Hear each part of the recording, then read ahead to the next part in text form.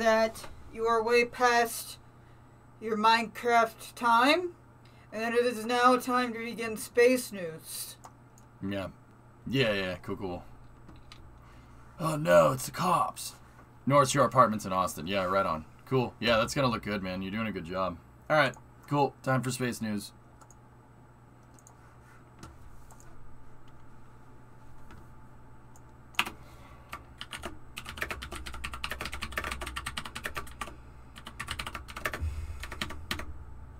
Still here? Yep. Ew. The hyperfocus police has grown weary after being tricked multiple times, sir.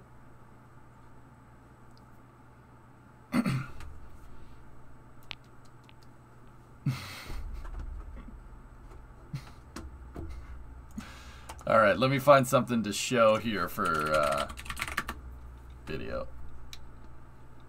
We will not be fooled. You not be fooled by what? This time we're staying here until you start your video.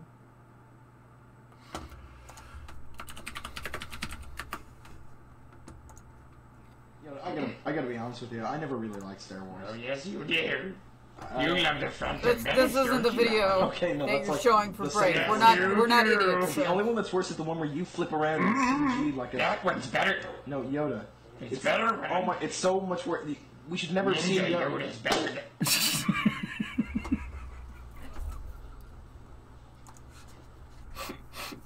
Oh, yes, you did.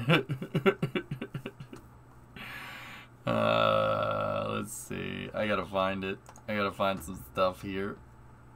Uh, let's see. Let's see. Oh, yes, you did. uh, word. All right. Um, a shuttle film. Well, if we're doing this, uh oh. No.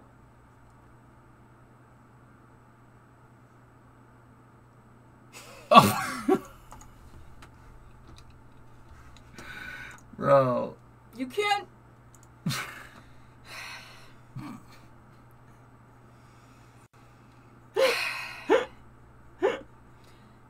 The hyperfocus police is being actively sabotaged by Twitch chat. Stand for this. Jesus Christ. Terrible. Okay, let me find something. Let me find something. Uh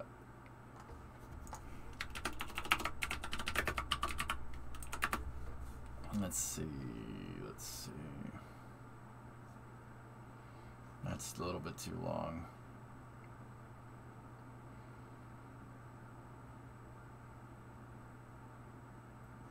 See, I, I can always never figure out if like this. It said, Yeah, you know, know. like is that is that good? Because it's blatantly just NASA. I don't know. Yeah, right. Why don't you just play your own videos, sir?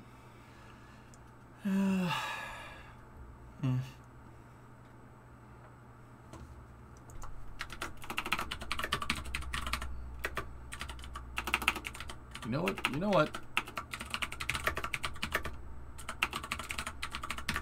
Let's go here. Let me just make sure the audio is good on this.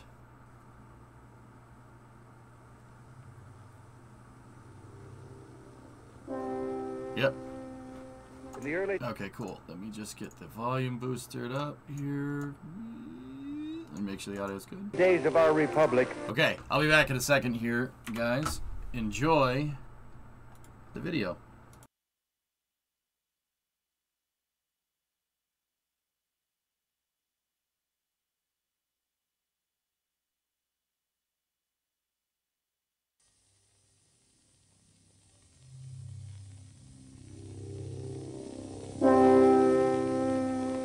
The early days of our republic, Americans watched Yankee clippers glide across the many oceans of the world, manned by proud and energetic individuals, showing our flag, breaking records for time and distance, opening up new vistas of commerce and communications. Well, today, I think you have helped recreate the anticipation and excitement felt in those home ports as those gallant ships were spotted on the horizon heading in after a long voyage. The fourth landing of the Columbia is the historical equivalent to the driving of the Golden Spike, which completed the first transcontinental railroad. It marks our entrance into a new era. The test flights are over. The groundwork has been laid. And now we will move forward to capitalize on the tremendous potential offered by the ultimate frontier of space.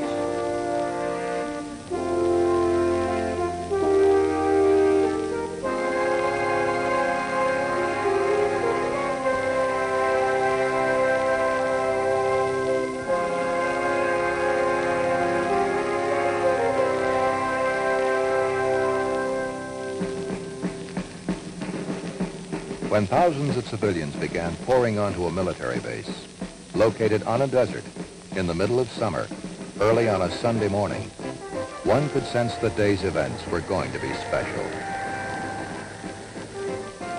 Spectators came to Edwards Air Force Base from all over the nation and all walks of life to celebrate the nation's 206th anniversary of independence and witness historical events more spectacular than the typical 4th of July fireworks display could ever hope to equal. The fourth landing of Space Shuttle Columbia, world's first reusable spacecraft. Columbia's first landing on a concrete runway, officially ending the orbital flight test program.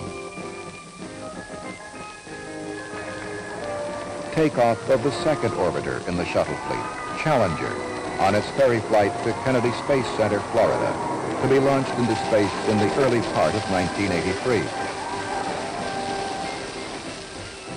And with Shuttle Pathfinder Enterprise as backdrop, the announcement of America's new space policy by President Ronald Reagan. Beginning with the next flight, the Columbia and her sister ships will be fully operational, ready to provide economical and routine access to space for scientific exploration, commercial ventures, and for tasks related to the national security. Simultaneously, we must look aggressively to the future by demonstrating the potential of the shuttle and establishing a more permanent presence in space. Our goals for space are ambitious yet achievable. We've only peered over the edge of our accomplishment.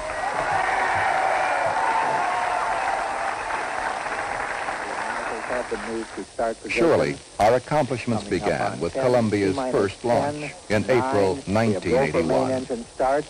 We have main engine starts.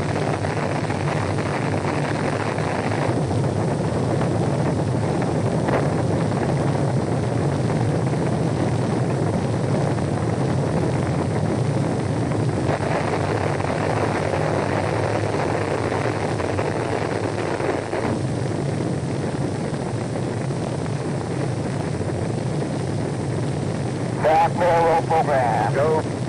Roger roll.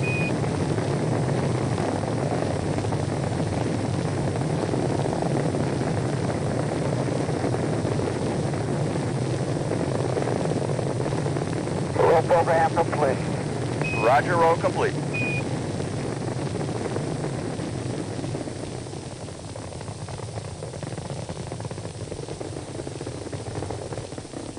Looking back at that spectacular event and the performance of Space Shuttle during its first four flights, there seems little doubt now that it is a reliable, reusable space transportation system.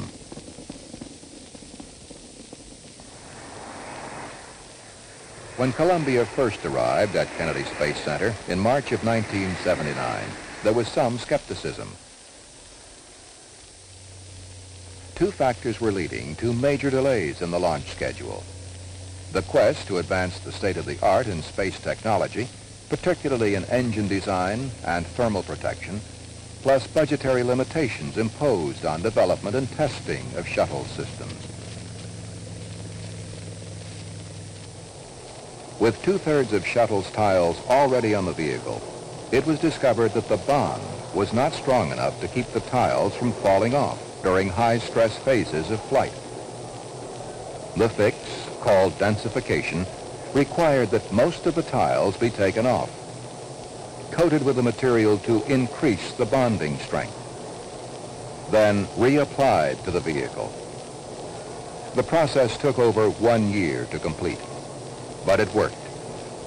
During the orbital flight test program, only undensified tiles showed weakness along their attach points on non-critical areas of the vehicle. Shuttle's main engines achieved the state-of-the-art in rocket engine technology. But as with any research and development program, confidence in the design came only after years of testing, learning, and some mistakes.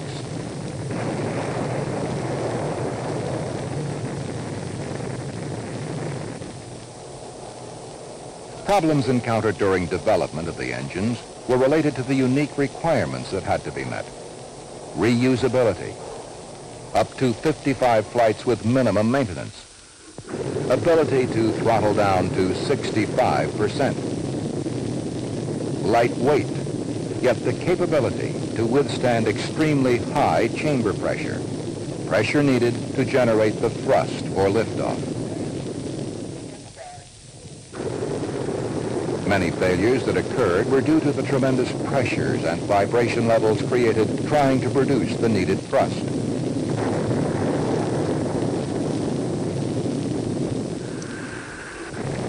But one by one, the problems were solved.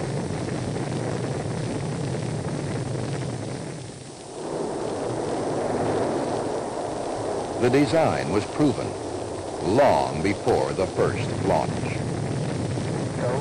Go for auto sequence start. Nine, eight, keep breakers closed. Five, four, we've gone for main engine start. We have main start.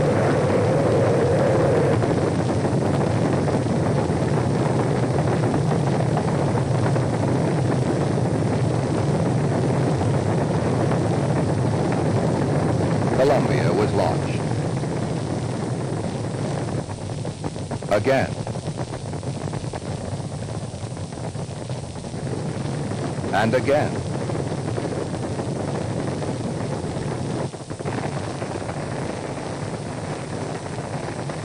And again.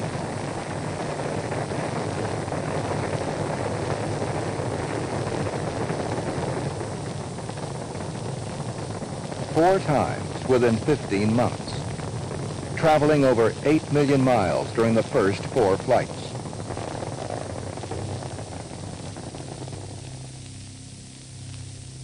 Three hundred and fourteen revolutions around the Earth. 19 days on orbit. But beyond the statistics, a far more important goal was achieved with completion of the orbital flight test program. The foundation for our future was built, step by step, mission by mission.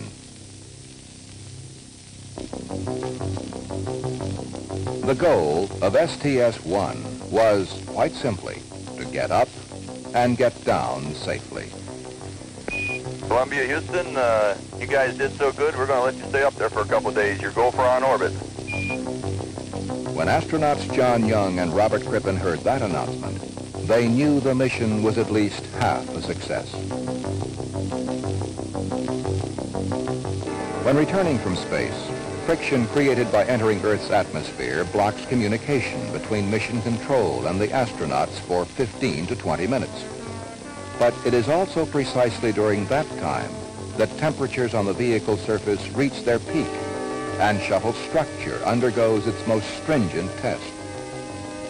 On Columbia's first flight, no one could predict exactly how shuttle would perform during that phase. Here. Hello, Columbia. Houston's here. How do you read? Plan clear, and we're doing uh, Mach 10.3. With voice contact reestablished, spacecraft and crew had safely passed through the most critical phase of entry. Landing was the final test. Right on glide slope. Flown as a glider, Center line. Look. Columbia landed without power on the first and only attempt. They're coming. Go down. 50 feet. 40. 30. 20. 10. 5. 3. 2. 1. Touchdown. There's gear. 10 feet. 5. 4. 3. Touchdown. Houston, Columbia's on the roll. Welcome home, Columbia. Beautiful, beautiful.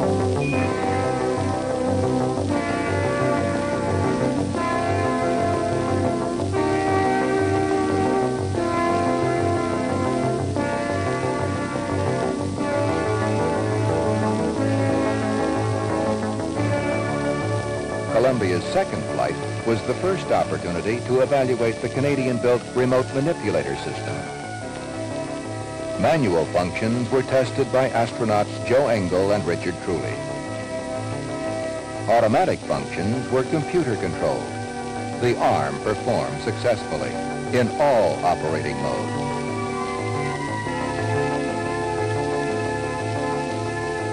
Preliminary thermal tests of the vehicle were also begun on Flight 2. One thermal attitude resulted in the payload bay being pointed toward Earth for extended periods of time. During those periods, a package of five Earth viewing instruments, designated OSTA-1, was activated. The package, composed of low-cost commercial-grade sensors previously flown only on aircraft, and instruments flown on individual satellites or past manned missions, collected the first Earth resource data using shuttle. The ability to mount all three types on Columbia greatly reduced the expense of acquiring the data. You want to journey? Okay. 100. 50. 30. 20. 10. 5. 3. Touchdown. Nose gear 15.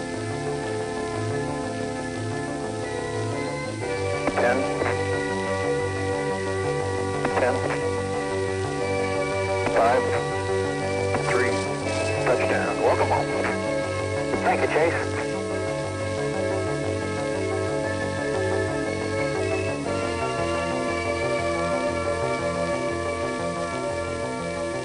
Flight 2 proved shuttle was truly a reusable space transportation system. Third flight of Columbia was primarily a thermal test of the vehicle, exposing it to the most extreme temperature differentials it could encounter on orbit during upcoming operational flights. No facility on Earth could simulate the same heating conditions Columbia would experience in the vacuum of space where temperatures could vary greatly from one end of the orbiter to the other, depending on its orientation to the sun. The thermal tests determined precisely what effect different attitudes had on shuttle structure. The vehicle suffered no adverse effects. Evaluation of the remote manipulator system continued on Flight 3. Astronauts Jack Lousma and Gordon Fullerton tested the system's payload handling capability. First order of business was unberthing. Although clearance around the payload was only two inches, Fullerton unberthed in just five minutes, much quicker than had been predicted pre-flight. Using the plasma diagnostics package, seven computer-controlled automatic movements of the arm were evaluated to prove scientific instruments could be maneuvered in and around the payload bay. Only uh, some general comments on the arm operation. The operation is smooth. There's definitely a little bit of flex and dynamics, but uh, in the augmented modes, that's very minimized. Really no surprises. Uh, if there are any surprises, they're all pleasant. Uh, I, uh, I'm really impressed with that piece of machinery. Hey, that's great news, and we were impressed too.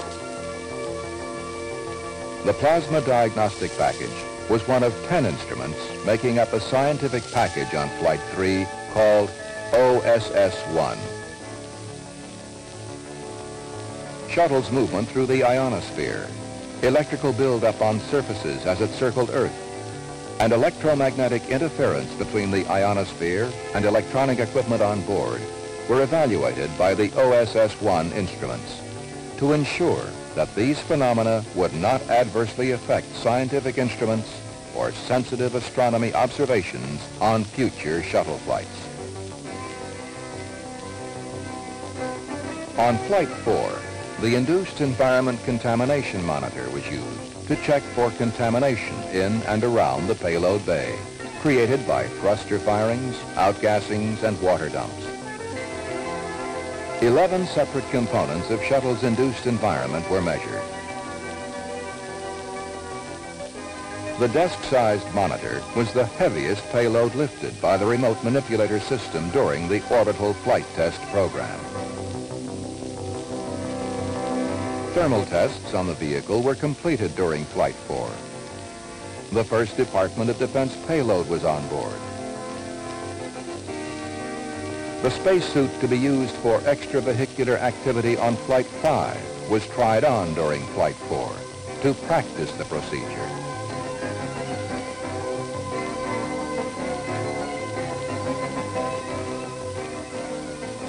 And astronauts T.K. Mattingly and Henry Hartsfield conducted a thorough evaluation of on-orbit procedures for the upcoming operational era of spaceflight when Columbia will launch into Earth orbit on a routine basis.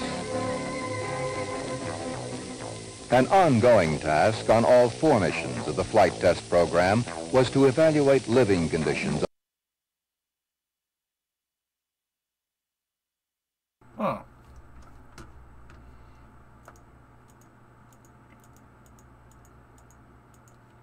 Glaucoma Research Latex Reactor made polystyrene latex microspheres.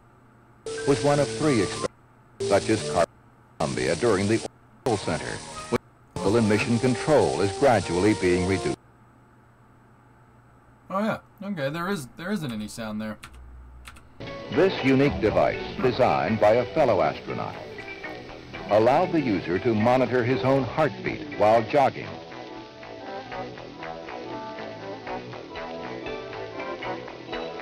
Alternate methods of anchoring oneself in weightlessness were also appraised.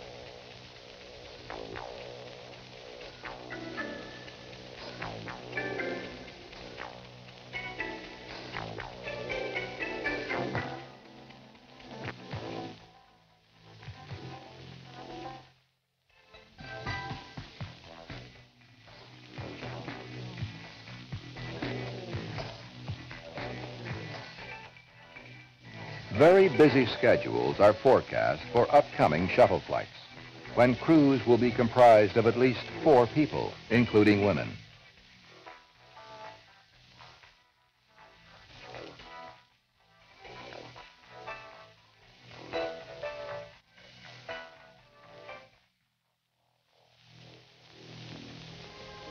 Procedures on the ground are being streamlined for the operational era. Processing time was cut in half during the orbital flight test program.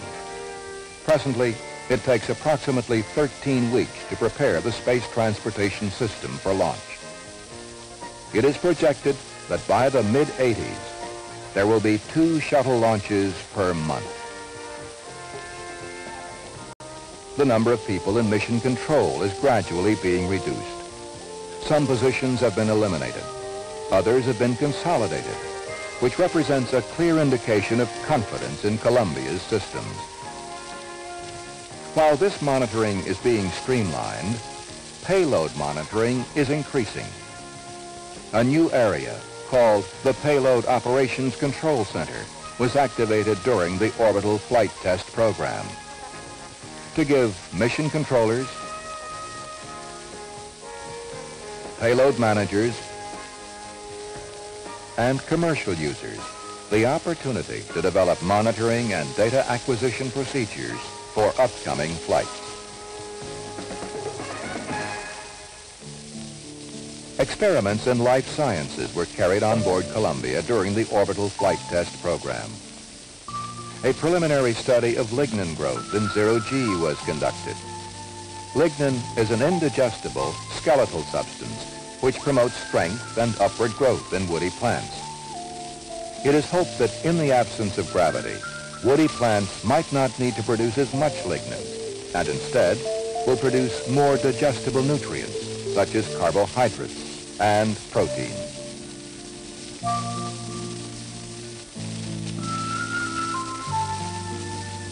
The effect of weightlessness on some flying insects, bees, moths, and flies was studied. The project, conceived by a high school student, was one of three experiments flown on Columbia as part of an annual science competition co-sponsored by NASA and the National Science Teachers Association. Equipment to process materials in zero gravity on future flights underwent initial testing during the orbital flight test program. The monodisperse latex reactor made polystyrene latex microspheres to determine if large identical-sized latex microspheres could be manufactured practically and economically in space. Presently, large microspheres cannot be produced in uniform sizes on the ground. Yet medical and industrial applications have already been found in cancer research and treatment, glaucoma research, and for calibration standards in medical and scientific equipment. The continuous flow electrophoresis system, built by McDonnell Douglas Corporation, is a prototype of a production unit to purify material for the treatment of disease. The process separates substances according to their electrical charge. Hopefully, yields from the production unit will be high enough to make the product available to a mass market in the future. Results from the prototype's first flight show that a very thin, yet highly concentrated stream of protein substance on the left was separated from red dye on the right. The thin protein stream, only a portion of which is shown here, is actually over 43 inches long and is 300 to 400 times more concentrated than yields obtained from the same process on Earth. The continuous flow electrophoresis system represents the first commercial use of shuttle by private enterprise under a joint endeavor agreement between NASA, McDonnell Douglas Corporation, and Ortho Pharmaceuticals Corporation, a subsidiary of Johnson & Johnson. A unique opportunity to put small, self-contained payloads aboard shuttle on a space-available basis at a very low cost exists in the Getaway Special program. After proving its flight readiness on Flight 3, the Getaway Special was fitted with 10 experiments built by science students from Utah State University and flown on Flight 4. Deposits for Getaway Specials on future flights, private enterprises' interest in flying payloads on board shuttle, missions planned into the next decade, all reflect the confidence this nation has in the space transportation system.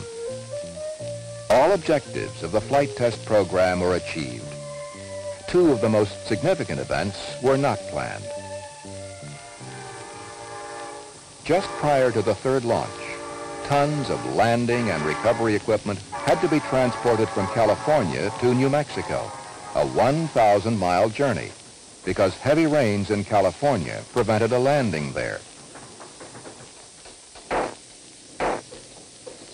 An entire encampment had to be built at the New Mexico landing site, Northrup Strip, and the task had to be completed within four days. Just prior to landing on the same mission, only one and a half hours before touchdown, an unexpected sandstorm blew into the area. As you could probably surmise, the winds have been coming up all day. Uh, it was still acceptable until uh, his last pass, but during uh, John's last pass, the uh, visibilities were unacceptable and the turbulence was severe. So it's not a good day, and we're going to wave off for 24 hours. Over. plans were implemented immediately to stay on orbit an extra 24 hours. We've had a good drill. The flexibility to remain on orbit until weather conditions improved and land at an alternate strip could not have been demonstrated by previous spacecraft. Only the shuttle has that capability. It meets a need, providing access to low Earth orbit on a routine basis. By launching on time, serving as a platform for Earth observation. And space observation, deploying payloads, operating in extreme temperature differentials while on orbit, providing ample living accommodations for astronaut crews, landing on lake beds,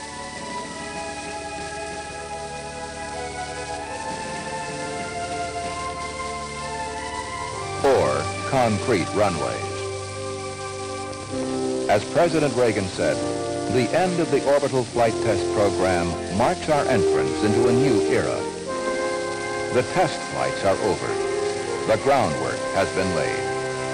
Now we will move forward to capitalize on the tremendous potential offered by the ultimate frontier of space.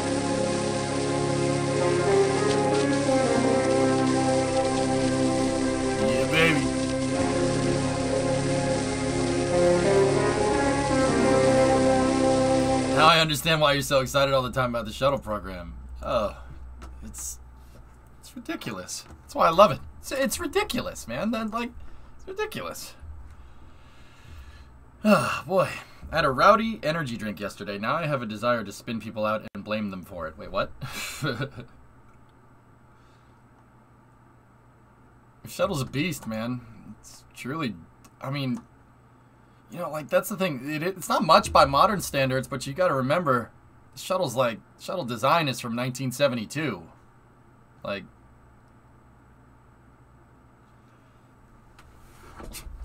Nineteen seventy-two, man. So, Tory talk, Tory talk. All right. You want to start with that? We can start with that, dude. That's fine. We'll start with the Tory talk from ULA. Let's see. Let's see what we got here, boys. Last, what's up, Rarest? Did the shuttle use its ailerons for the roll program, or the gimbal of the engines, or a combination of the two? For the roll program right at the start, neither. Uh, the the SRBs are doing the gimbaling. Eight degrees of gimbal on on the SRBs. Shuttle engines are just kind of sitting there. And then the elevons on the shuttle went like this. They would they would turn them down to reduce load on the wings. Yep. Yeah, a lot of people don't know that. The the SRBs on the space shuttle had 8 degrees of vector. And so same with SLS. The engines aren't the engines aren't being used to to roll the thing. Uh, the reason is because the engines, the shuttle engines are they are pointed at the center of mass, but they're not pointed in the direction that the shuttle is flying. Okay? They aren't pointing they aren't pointing straight up. So what happens if you have engines that are out here and you do this with them? Well, you're gonna get roll, but you're also gonna get yaw. That would make the shuttle do this. It would it would flip. It would it wouldn't it wouldn't roll. It would roll and yaw, and it would do something like that. So you you can't use those for gimbal unless you want really weird dynamic control inputs. Yeah, it would corkscrew out of control because the engines are above the center of mass, right? And don't get me wrong, they are pointed at it, but the vehicle's flying that way, so it, it'll it'll corkscrew. I had that problem in KSP for the longest time with my shuttle. I what like I couldn't figure out why the shuttle, whenever I would do a roll program, it wanted to yaw and crash. But then I figured out that I wasn't controlling it from the right spot. You have to control it from. I put a docking port on the top of my external tank, and we controlled from there, and it flew perfectly into space. SpaceX showed up at the city of Brownsville Charro Day parade, and of course, they brought a mariachi band.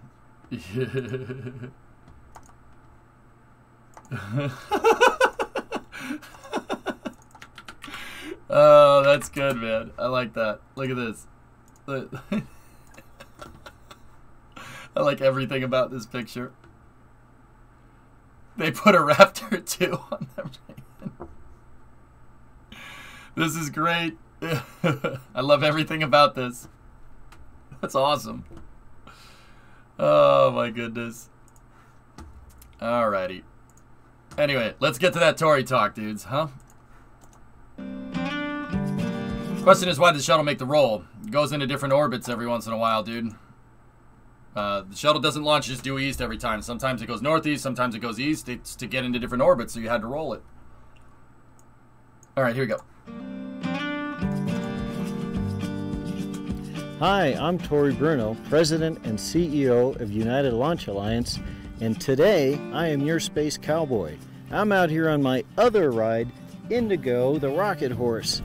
Out on the ranch, getting a ride in on a crisp day here in Colorado, yeah. and I was able to plan this because of the amazing GOES weather satellites that gave me a very accurate prediction of this weather. We're going to be launching the latest one, GOES T, in just a few days. It's going to rocket into space on our mighty Atlas 541, the Dominator. And this is a cool mission. These GO satellites improve our ability to predict flash floods, lightning storms, tornadoes, and almost real time monitoring of hurricane tracks, and of course, even climate change. We're going to blast off the pad at over 30 million horsepower, more than two and a quarter million pounds of thrust to take that big bird to the sky. Our booster will burn out in about four minutes, and then the amazing Centaur will take over. It'll That's nice. carry it to orbital velocity. It'll put it in a LEO parking orbit so we can coast around and get precisely lined up with the destination longitude, and then it's pedal to the metal. We're going to blast it out on that geosynchronous transfer orbit, a big long ellipse with its altitude at geosynchronous 22,000 miles above the Earth, and then she'll be right there and we'll take that time while she's calibrating her instruments and getting everything just right to raise the rest of the orbit and be in geosynchronous. And then we'll have even better weather and I will get even more opportunities Nice to ride ranch, Indigo. man. Go Atlas, go Centaur, go Goes T, and go Indigo.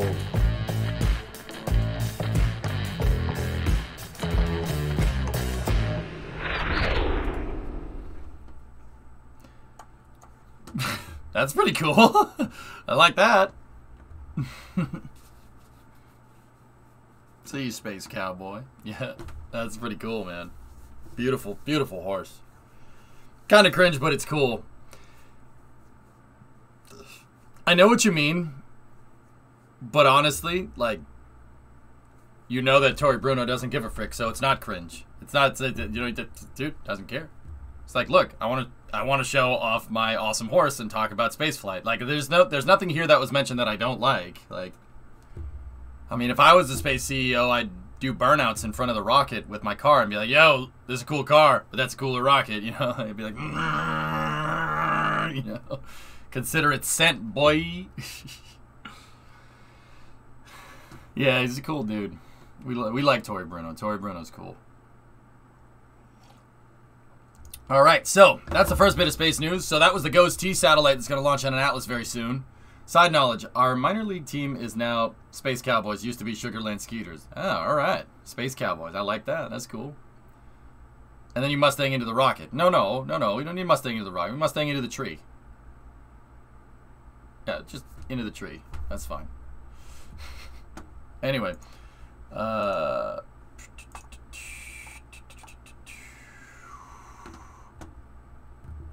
any questions on GOES T while I'm around? Um, no, it's a weather satellite, man. It's it's part of the Ghost program. They're they're they're the uh, the NO- NOAA's and NASA's uh, weather monitoring satellites, which are yeah, they're super useful, guys. Uh, that's the, these GOES satellites and weather guy. You you I guess you correct me if I'm wrong. These GOES satellites are literally what like your local weather station tunes in to, to, to predict the weather or they don't, and they just guess and they get it wrong, like in New England. Um, no, I'm sorry. It's, meteorology is hard. Marty McFly said, "Since when can weathermen predict the weather, let alone the future?" Yeah, that. Remember that? Um, there. Yeah, no. Those are the satellites that the you know your local weather service taps into. That and they use they use that and they use Doppler radars. Uh, there's Doppler radars all around the U.S. predicting the weather, et cetera, et cetera. And you know, like meteorology isn't just giving you the weather every day. You know what I mean? Meteorology they use that for planes, they use that for airport conditions, uh, for for airport conditions for planes. It's it's used all over the place. Meteorology isn't just like, oh hey, we're gonna predict the weather or hey, we're gonna monitor the climate. Go at throttle up. You know, uh, they they these these GOES satellites are used for a lot of different things, man. But yeah, these sats are imperative for just about everything that we do. Yep, yep. Mm-hmm.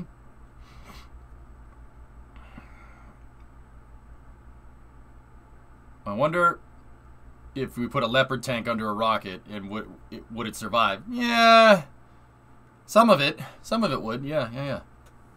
I've toured the NOAA's downlink station and server room at Wallops. Really neat place. Best part was a monitor with live downlink of the GOES-R data, rendered images line by line as they came down. That's cool. Yeah, that's really neat. Starship 4, you go at throttle up.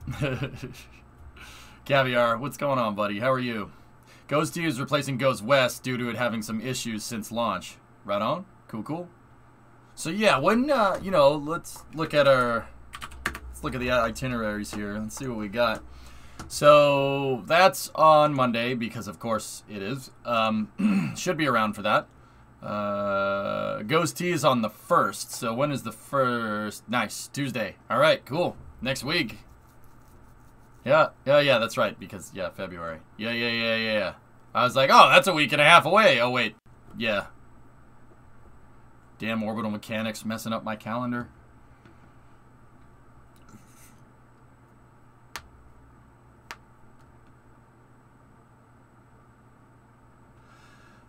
I'll be at the office, but I'll try to be here for it. Right on, man. Right on. I just know that NOAA is hush hush. What? Are you sure? Wait, Falcon Heavy and Starship? What do you mean, Ilya? Falcon Heavy and Starship will launch at the same time. Not like at the same time, but they'll be they'll be working at the same time. Falcon Heavy, guys, we know that at least Falcon Heavy's at least out till 2028 because of national security missions. And if Starship isn't flying by 2028, something has gone horribly wrong. I laugh, shouldn't laugh, but yeah, something that means something's gone horribly wrong.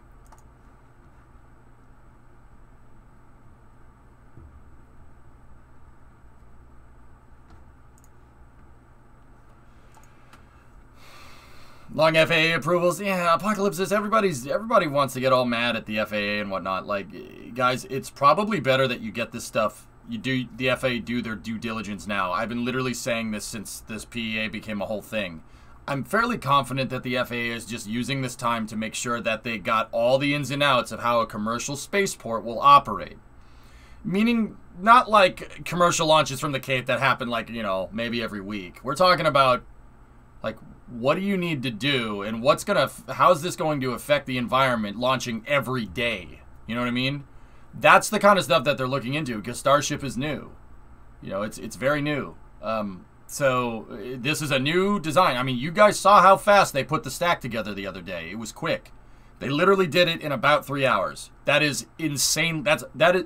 No one can build a rocket that fast nowadays. No, or no one can integrate a rocket that fast. Maybe Falcon 9, maybe, or or Soyuz, but there no way. There's no way a rocket can be thrown together that quickly.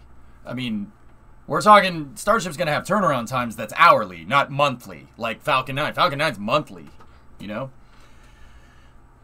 So I, am fairly confident that the FAA's Office of Commercial Space Transportation is probably figuring out like the baseline rules, and they're probably using this environmental assessment as kind of a benchmark for any future commercial spaceports. So it kind of sucks that it's taking a long time, but like think about it, man. What you know, starships are going to be flying daily, and you're going to have a reentry every, daily. Do you do you put up a temporary flight restriction? Like every three or four hours for a starship coming in from space? No. No, you wouldn't do that. Like, but also, do you need a no-fly zone? Like, there's only needs to be a no-fly zone around the pad. So, do you make it a permanent no-fly zone? Like, how you know people can't operate drones uh, near an airport? Like, drones are drones are good up to a thousand feet, but you can't fly them near an airport unless authorized to. Like, what? How does that all work? Like, that's the kind of stuff I think they're using this PEA as an excuse to figure out, and that's why that's why I think um, that's why I think it's taking so long.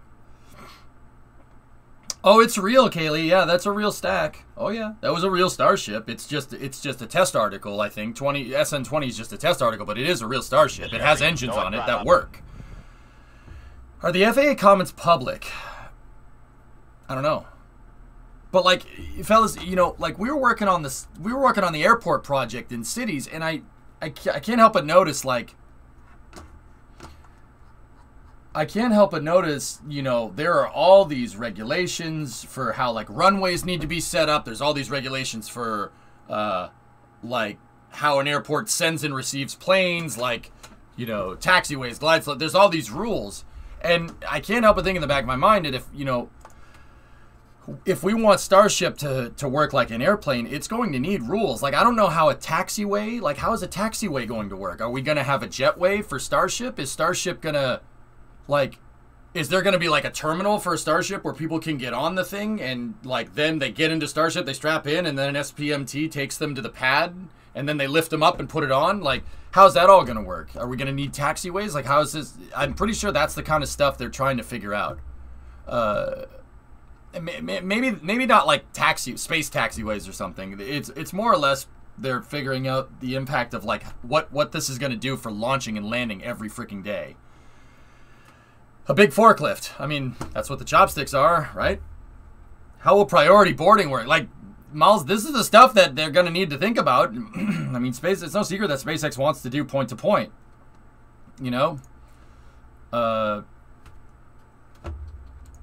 it's I mean it's no secret.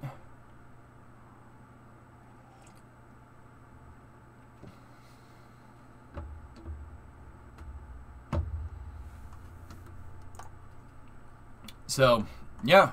Would it be covered by TSA? I mean, actually, U.S. Customs checkered. It, it would be U.S. Customs because I don't think flying point to point from the U.S. on a starship really makes a lot of sense. In the same exact way that you wouldn't, you wouldn't use like you wouldn't use a 747 to go from like New York to Florida. That doesn't make any sense. You'd use a smaller regional plane.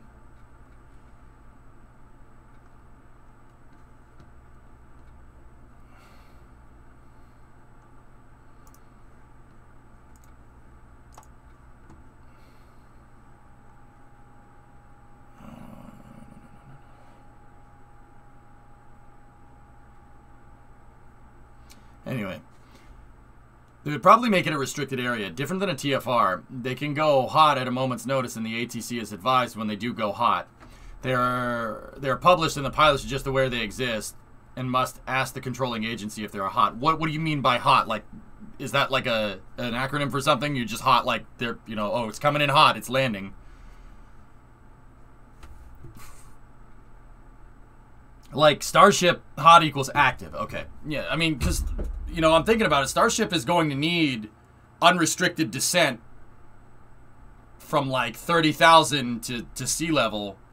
Like it's going to need an unrestricted descent and it's that that's going to need to be like this shape, right? But up to 30 it needs to be able to come down and land.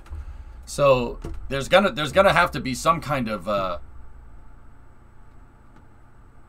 Yeah, there's got to yeah. See, this is the kind of stuff that's important to understand. Now, I think the programmatic environmental assessment is just figuring out what that's going to do to the environment around Boca Chica, but the the science that's done here and the analysis that's done here for this PEA, I have a feeling is going to set the bar for any other commercial spaceports.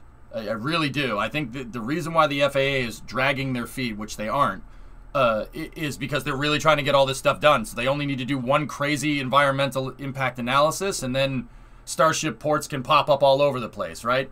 Like, I mean, I can hope. Sonic booms and noise pollution, apocalypse. Yeah. Hey, human person, what's going on? Yeah, no, that's that, guys. Th- this is why the FAA exists to think about all these problems. So remember, don't go barking up their tree. It's not. Don't go barking up their tree. It's not. It's not. That's not what's going on, and you know that's not what's going on.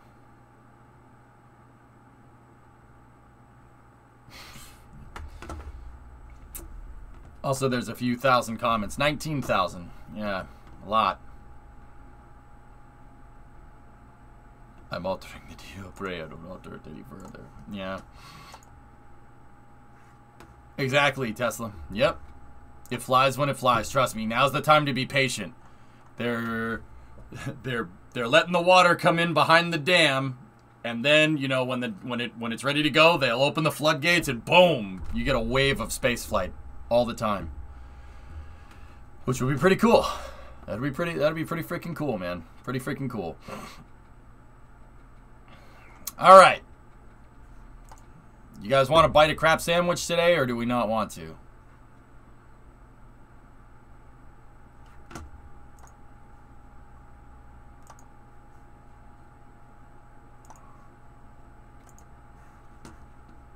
Might as well rip off the band-aid. Okay. I've been a little eh, because of what's been going on in the world lately, and I've been kind of like I've been kind of hesitant to share like what's going on with space news, right? So the reason why is because you know with space flight it's important to take your time and understand what's going on. Now Wario memes. Ah! I've kind of come to terms with how the world is. It was I'm, I'll admit I was a little scared the past couple of days, and it really made me not want to stream. Uh, but um, I've come to terms with what's going on, and you know we'll we'll go from there. So, um, so the question I keep getting asked is asked is with what's going on i between the Ukraine and Russia right now, uh, is it going to put strain on the ISS? Well. The honest answer to that is that it's hard to say. However, I do have some stuff that I can show you if you want. Um, so, guys, look, I never thought my hand would be forced kind of like this, but if we're going to dive into some Rule 8 stuff, I'm going to make sure that I'm not going to interject opinion. I'm just going to show you what's going on, and then maybe after that I'll tell you what I think. Okay? So, you're gonna have to bear with me.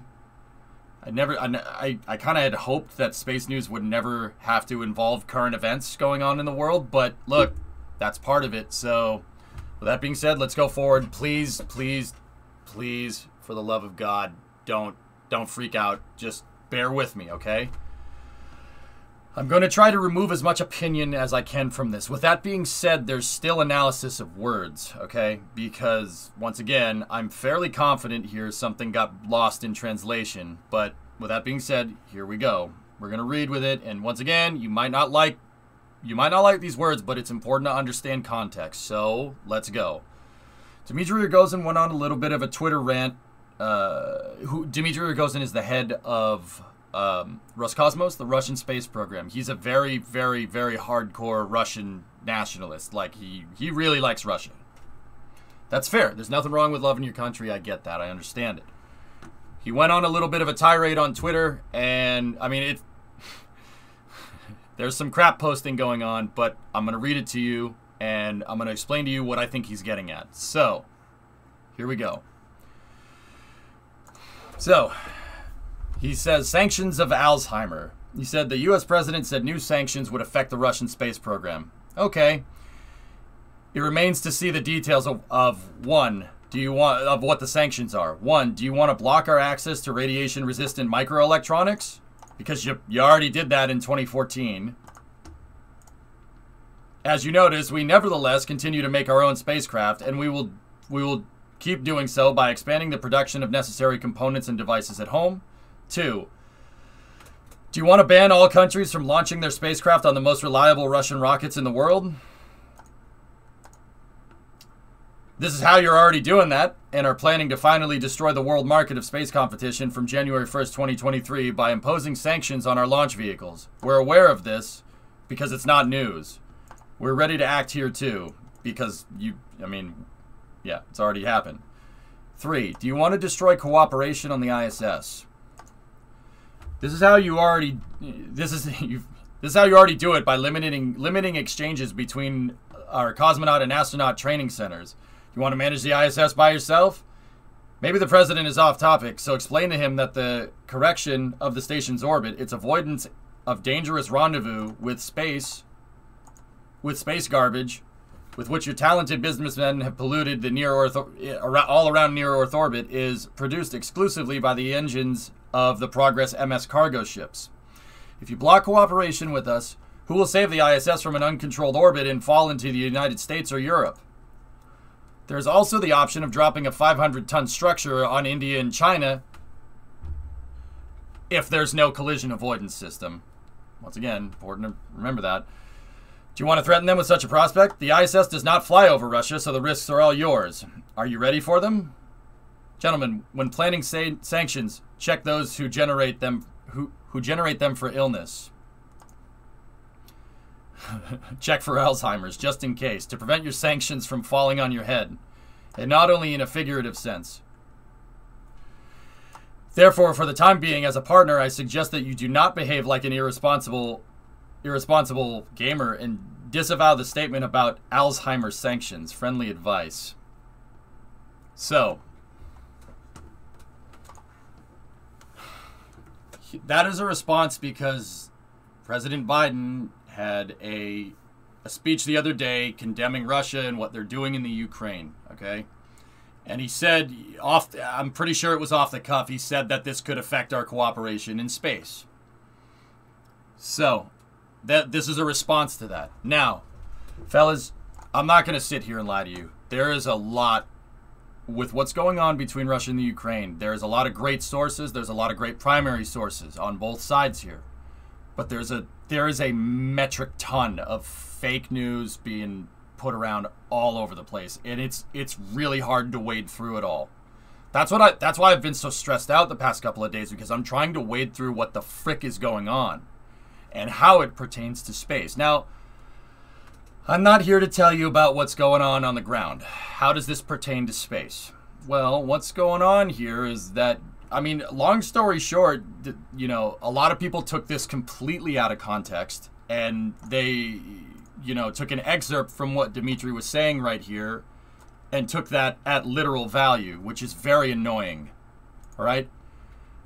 Uh, so they took they took this, particularly that part, completely out of context. You know, Progress MS cargo ships. If you block cooperation with us, who will save the ISS from an uncontrolled deorbit and fall into the United States? That immediately got misconstrued as Russia wants to crash the ISS into the US.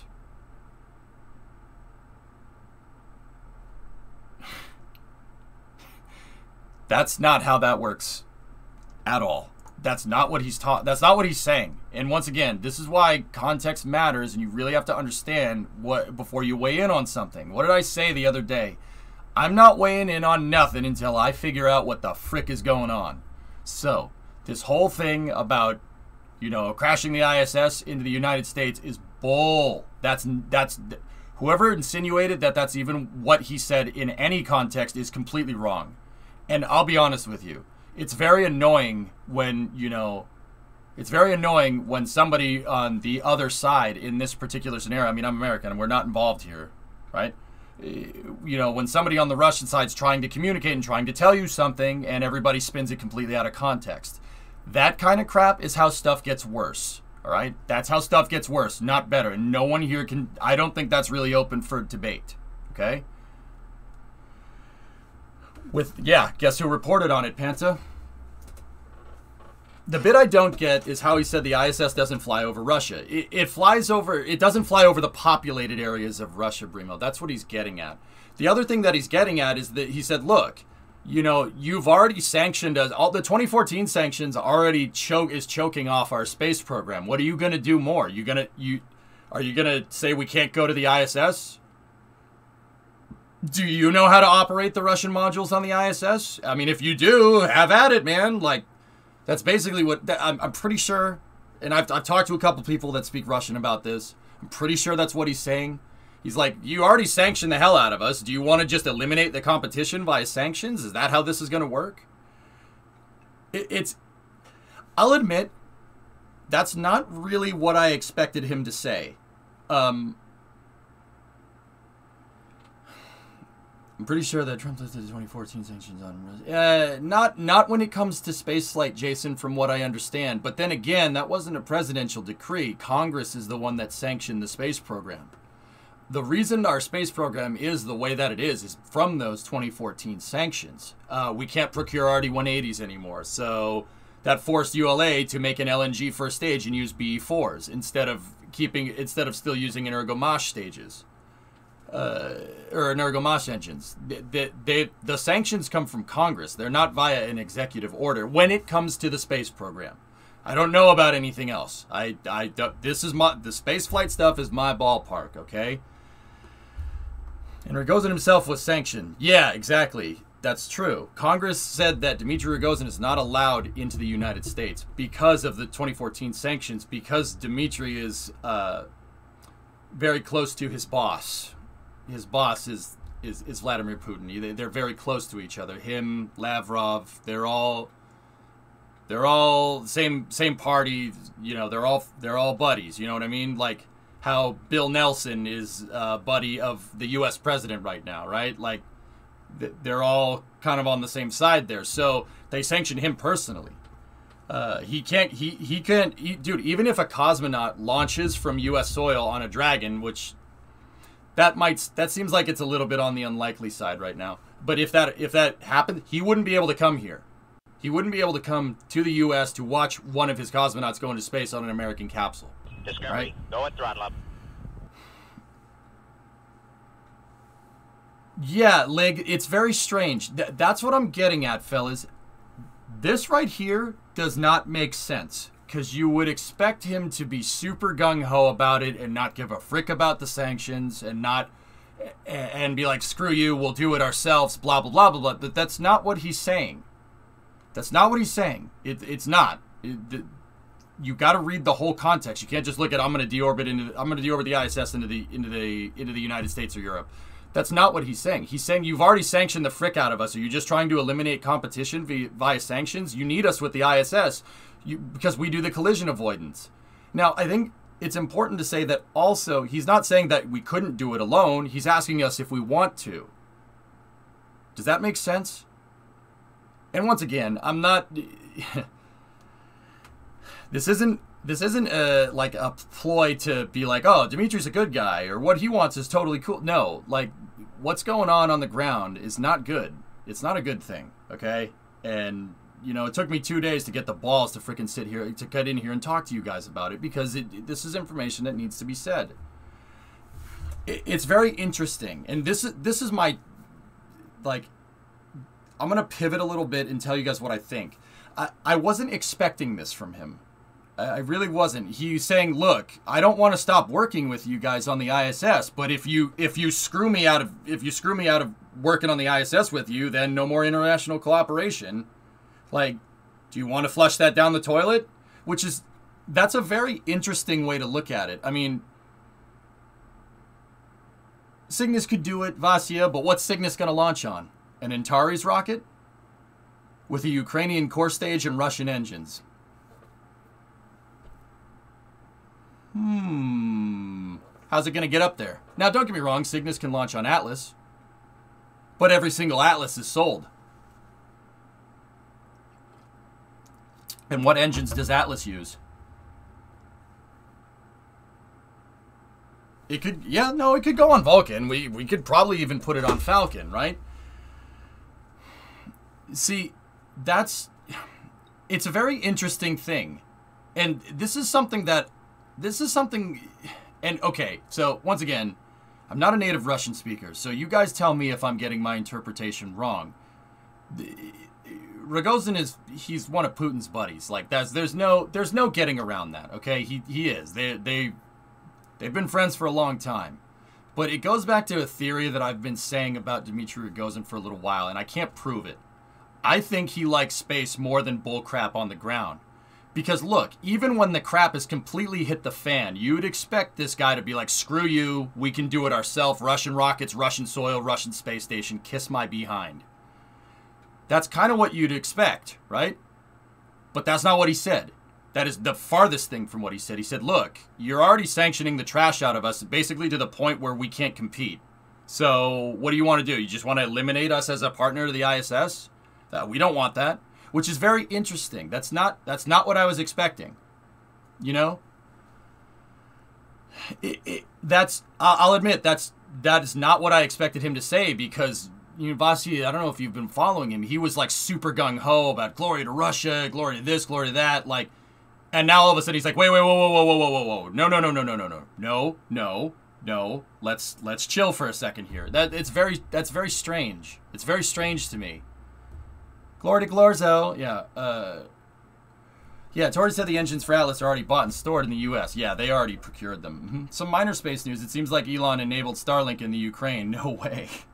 It's out of character. That's what I'm. Well, it's not out of character, firework. It's something that I've noticed from Dimitri for a very long time. I really take his what he says seriously, and I don't try to jump to conclusions because it's a language that I don't understand. You think someone would do that nowadays? Just take stuff out of context for a language that has a lot of words that don't translate correctly into English? That's never happened before, is it? Yeah, Venus is a Russian planet, though. I'm pretty sure many of the higher echelon politicians here are going, "Mm, yeah. No, Vasi, I'm with you on that one. I'm with you. Yeah. No, I from what I've been able to read about this and read and learn and understand, and that, guys, I'll be honest, that's part of the reason why I've been the, the last two streams were very short because I'm trying to figure out what the frick is going on. And uh, you know what? I don't give a frick if I have to go watch TASS or Novosti or something. I don't care. I'll watch CNN if I could get some good information from it. And you know, to be uh, you, to be 100%, the information hasn't been bad. But you know what I do? You know how I know the information isn't bad? Because if Fox News and CNN and Novosti are all saying the same thing, then it's probably true. That's what you got to do in this day and age. You got to you can't you can't rely on one source of information. There has to be a check and balance. I cross reference like a motherfricker. Dude, I went I was last night I was reading Putin's speech on why his justification for invading the Ukraine. You think I wanted to do that? No, but it's important to understand context. You know, yeah, Pop Bear, his justification's a little bit a little bit more than just, "Oh, I want the Soviet Union back." No, I mean, it's not. I'll be 100% real with you. It's not.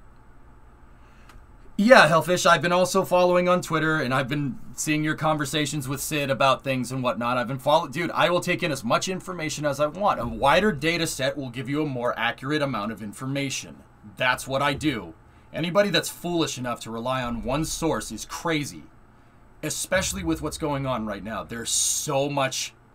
Dude, there's so much fake.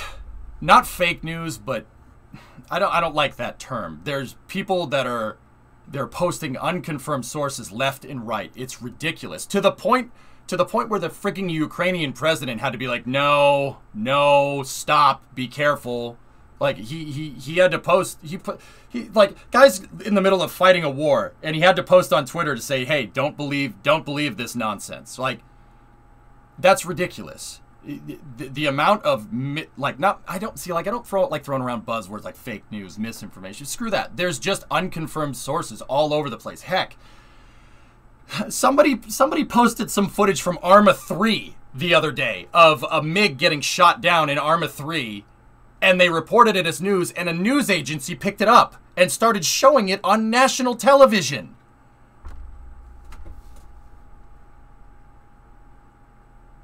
It was DCS? Oh, that's even worse. like that that's how bad it is, man. You got to be very careful. All right? Not the first time. I can't believe this, dude. Like you got countries crap posting about other countries on Twitter. You got the Ukrainian president tweeting from a freaking war zone.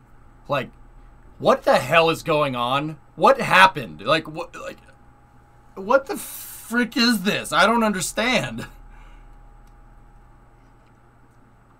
So you got to be careful with this stuff. And like I said, dudes, I straight up like I'm usually I usually don't like even mentioning names here, but I, I was I was up reading Putin's speech last night about his justification for invading the Ukraine because I want to learn, I want to understand.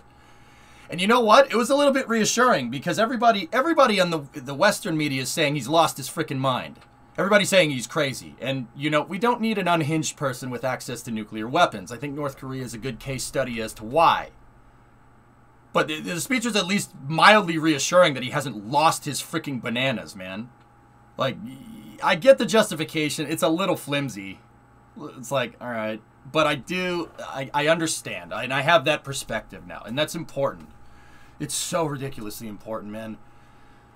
The last thing that you want to do when there's a freaking war going on is jump to conclusions. That's so, that is so bad. And it makes the problem way worse, okay?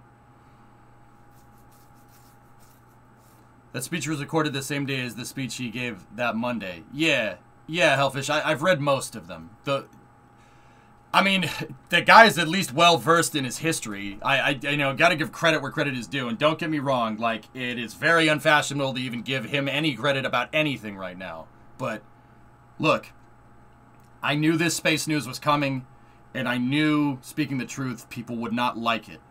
But it's important to understand the context, man. I'll you like, dude.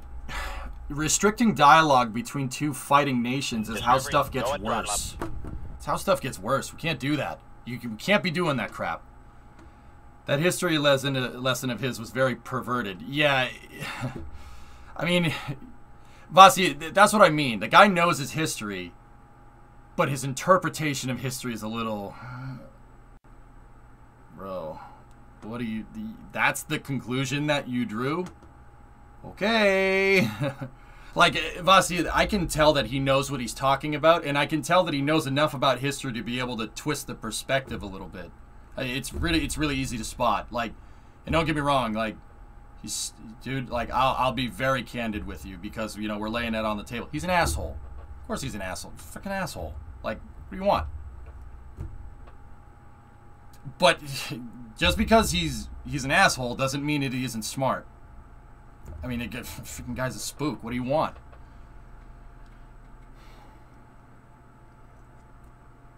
In the same vein, why talk when there's when it's obvious that there's no good outcome? Well, Hellfish. Yeah, I guess, dude. But you know what, man? I don't like war. I really don't and this once again, this is kind of more personal, more personal for me. If you guys don't, if you guys don't, people don't agree with me on this one. Look, I'm already hanging a lot of dirty laundry out this space news already. So you know, as long as we're here, uh, dude, I don't care. I want to understand. I want to understand our aggressor. I want to understand like okay so russia's the bad guy right because we're we're we're the west so russia's russia's the bad guy right of course russia's the bad why? Why do we think this? That's what I want to understand, and that sometimes means examining both sides. I'm interested in what's going on, and that's it. I don't have any. I swear to God, the only thing that I, the only thing that I, the only axe that I have to grind here is what's going on with space. Other than that, I'm interested in context, because context is important to understand to understand what's going on in space. Space is complicated. And the circumstances in which the ISS came about are very complicated as well. And it's important to understand that, man. Look, we play Hearts of Iron all the time on stream, and we have fun with it. It's a good time, right?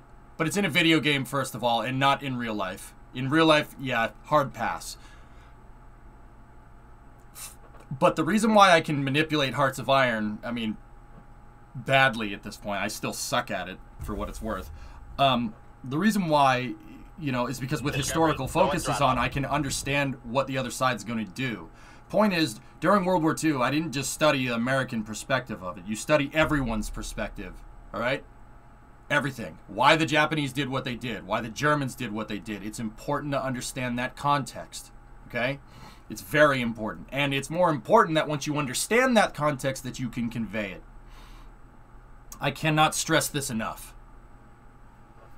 Sorry that you have to go through this. Alexiev, it is what it is, man. Look, I I had a feeling that Space News someday would get to this point. Not, not, not. No, nobody saw what was coming in the past couple of days. I'll admit that. I'm not that smart.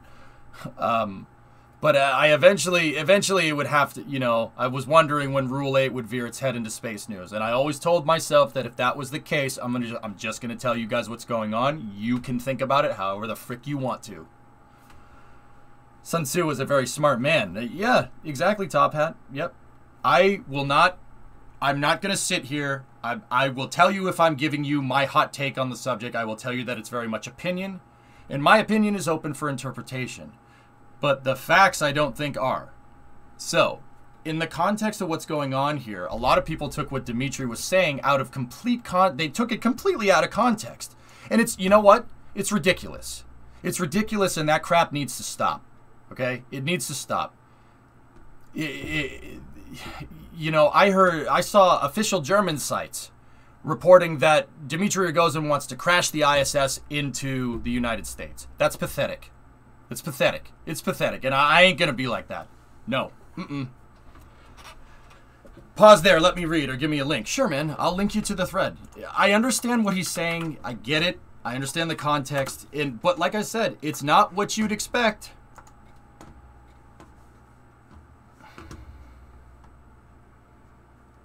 Like, what worries me is that Russian protesters were all arrested in a few. Yeah, Alexiev, how about the balls on those people? You're gonna protest against. You're gonna protest against Vladimir Putin. That's how bad. That's how bad it is, dude. Like, dude, you are you nuts? You know, this isn't here where you know if you protest, you're allowed to protest and you keep going. I know that people will be like, well, actually, bear with me here, right? They're rounding up everybody. That's ridiculous. But once again, I don't know that for sure. That's not that's unconfirmed. You know? Either way, fellas, I'm not here to talk about Russia Ukraine. I'm here to talk about the context of space flight. So, with that being said, Dmitry Rogozin did some other things today. Um, so here, this one. And fellas, I, I can't stress this enough. I never want to talk about politics on here ever ever. It's so it's so toxic for chat. I don't want to do it. It's bad for people, especially now because there's guys, I'll be straight with you. There's people that watch this stream in Russia and there's people that watch this stream in Ukraine and I feel so bad for all of them. Like and there's people in Poland and Hungary and a lot of there's a lot of people from Eastern Europe that watch this stream and Finland and I feel bad for, like I, I feel I feel terrible. That this is horrible. You know, I don't like I don't want to talk about this stuff that's such a big pain point with people, but we have to. It's important to understand the context of spaceflight. I don't like doing that. And I don't want you guys butting heads about it either. We're all here for space. Remember that. Don't get hung up in the bullcrap cycle of outrage that the news is perpetuating right now. Guys, look, I I watched Fox News for like six hours yesterday. Why the fuck would I want to watch television? Why would I want to watch 24 hour news on television? What do you think? I'm crazy? I'm crazy, but I'm not that type of crazy, okay? And then I watched six hours of CNN. I wanted to blow my brains out. But I needed to do that to examine context and understand what's going on. Ugh, man, it was terrible. It was so bad, dude. I I pity anyone that just goes to like Fox or CNN or anybody and just gets their news from a sole source. Those you, they're gonna make you crazy. You know, I don't watch news. I watch Twitter. Well, Ando, Twitter has some good news, and you, you generally what I've noticed is that with the news cycles, Twitter generally goes faster. The information comes at you a lot faster than it would with a news network. Like I, guys, what? You want to know how much of a loser I am?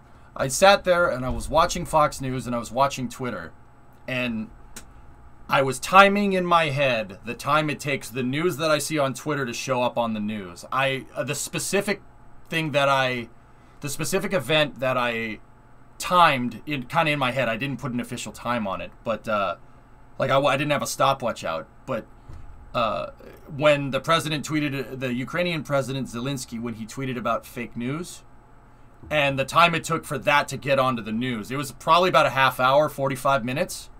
Yeah, somewhere around there. It wasn't quick. So on Twitter, the news comes at you fast. But you got to remember, it's not like the news anchor at the desk doesn't have their phone in front of them when they're not on camera scrolling through the news.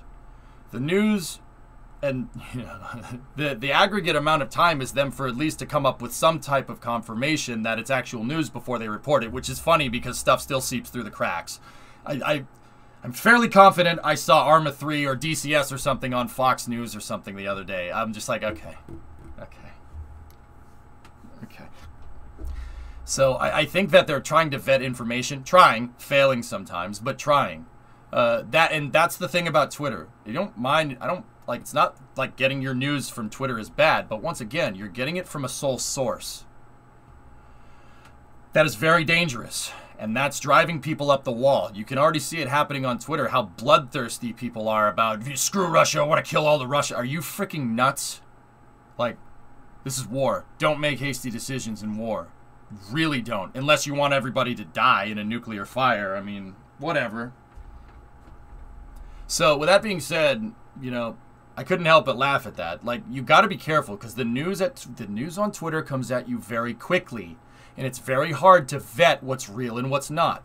There were people posting footage from from Donbass in 2014 of rebels fighting Ukrainian rebels fighting Russian or Ukrainians fighting Russian rebels, right? Or call that whatever you want to call. They showed they showed footage of fighting from 2014 and said this is breaking news from the Donbass region, or breaking news from Odessa, or breaking news from Kiev. Like, and they were posting pictures of 2014. there is so much nonsense out there. There's so much fake crap uh, out there. There's so much unconfirmed stuff that with Twitter you got to be careful. And that's why that's why I even bothered to put myself through the misery of freaking watching actual like 24-hour news networks, dude. It, it was Oh boy.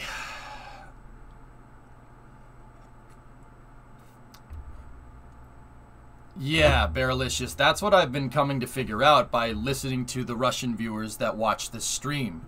Uh, I just reached out and made sure they were okay. Dude, guys, I'll, I'll be honest. The, the vast majority of people that watch this stream from Russia and Belarus are scared out of their freaking minds. Like, scared. They're scared out of their minds, too. Just like, just like everybody else. Because, and you know what that tells me?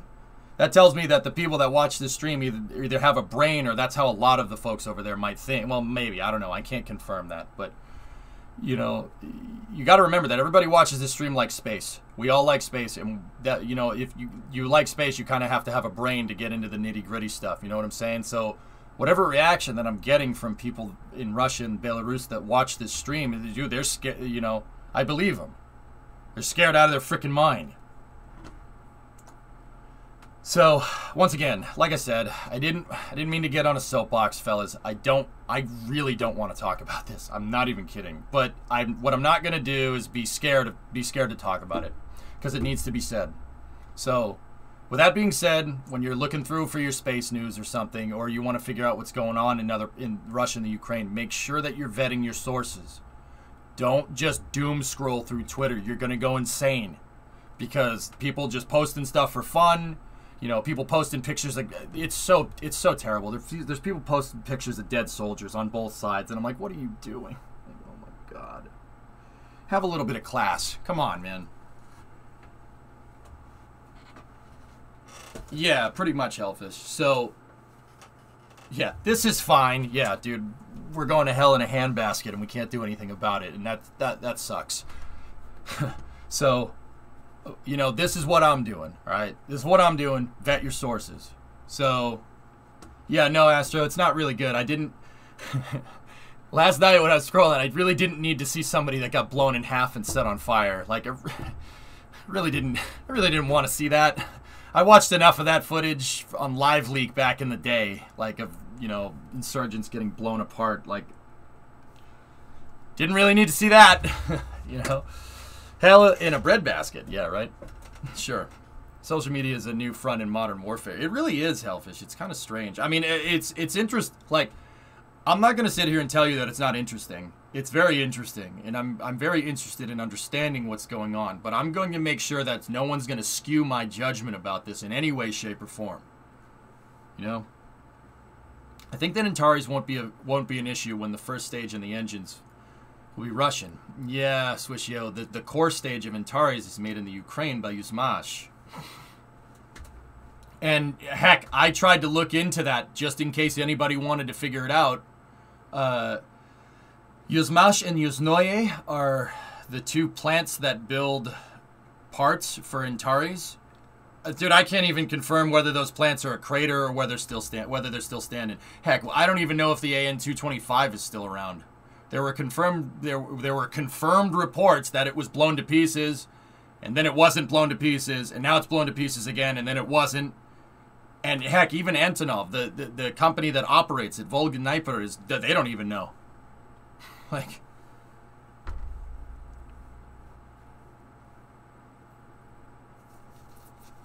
yeah, there you go, Idas. So, fellas, be careful with that, okay? And once again, I, I the reason why I wanted to say that and the reason why I wanted to give my piece here is because uh, because I from now on with anything that pertains to space, especially like politics and space overlapping, I'm just gonna tell you what's going on. I'll tell you what I think after, but I'm gonna report the news, and I'm not gonna lie to you. People ain't gonna like it. People ain't gonna like it, bros. You guys aren't gonna like it. I know some of you won't. But look, man, the in a world that increasingly just wants to hit the blow each other up, blow each other up, blow each other up, kill him, kill him, kill him, kill him button. I'm not going with the lemmings. Screw that. I'm thinking for myself. I want I want the truth. I don't give a frick about what your justification or anything like that. I it's so ridiculously important, especially now, and I cannot stress that enough. Yeah, Squall, it's ridiculous. It, it, I, dude, I even see it over here. And don't get me wrong, there are a lot of Ukrainian Americans and there are a lot of Russian Americans that are really pissed off about this. And there are a lot of people that have hurt loved ones and stuff. And you know what? Family is the most important. And I get it. That stupid meme ruined that saying, but uh, it, it's ridiculous how fast, especially since the U.S. just pulled out of Afghanistan like a couple of months ago, after 20 years of of keeping the peace, whatever the frick that means. It it's insane to me how quickly people are beating the war drum again. It is ridiculous. That is Are you freaking kidding me?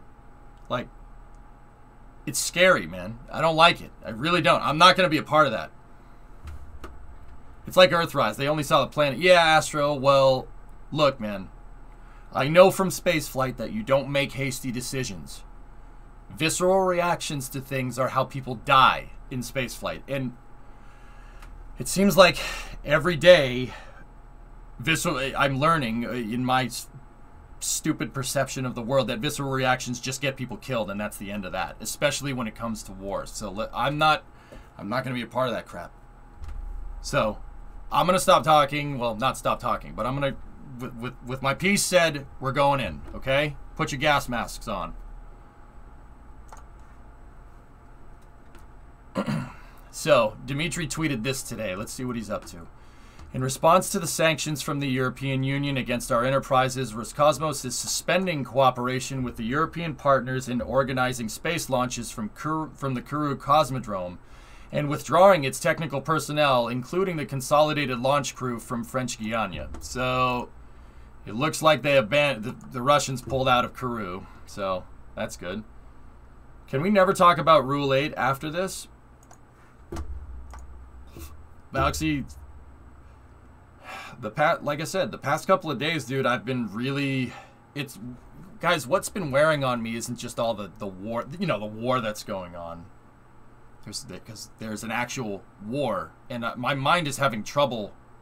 My mind oh i was having trouble putting that together. I get it now like still don't like it but i get it.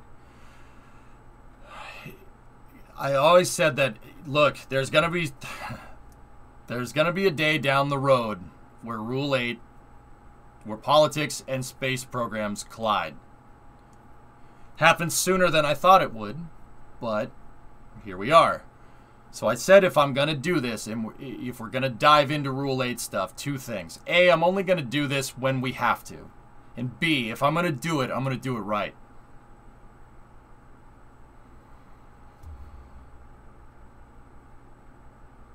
So, actually, I'm not going to sit here and say that we're never going to talk about Rule 8 stuff again because I can't make that promise. We're not going to turn into a political. This isn't going to turn into a political pundit stream. Let me put it to you like that. The only thing I'm a pundit for is the space program and peaceful, peaceful space program. That's it. That's my axe to grind. I will tell you straight up. I am extremely biased towards launching more things into space and expanding humanity's dexterity among the solar system. That is the stated axe to grind on this stream. And if in case you're from overseas uh, and axe to grind doesn't really make any sense, that's my agenda. I'm not even kidding. That's straight up. I will. What other what other person that reports any current events will tell you that? My only stated goal is to get people involved with space and on board with space and get humanity off this rock, not permanently. That's my stated goal. That's it. Nothing else. You have my word on that. I swear on my mom. Hi, mom. Love you.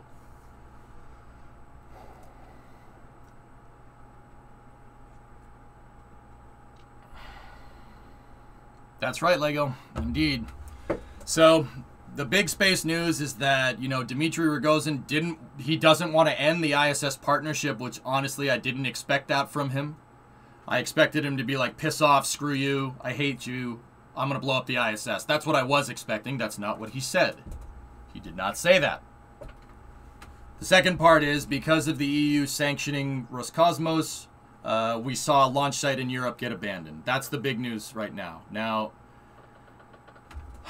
the U.S. hasn't released their sanctioning package towards uh, towards Russia, and if it includes, I you know, when they do, I'm going to have to go and read it.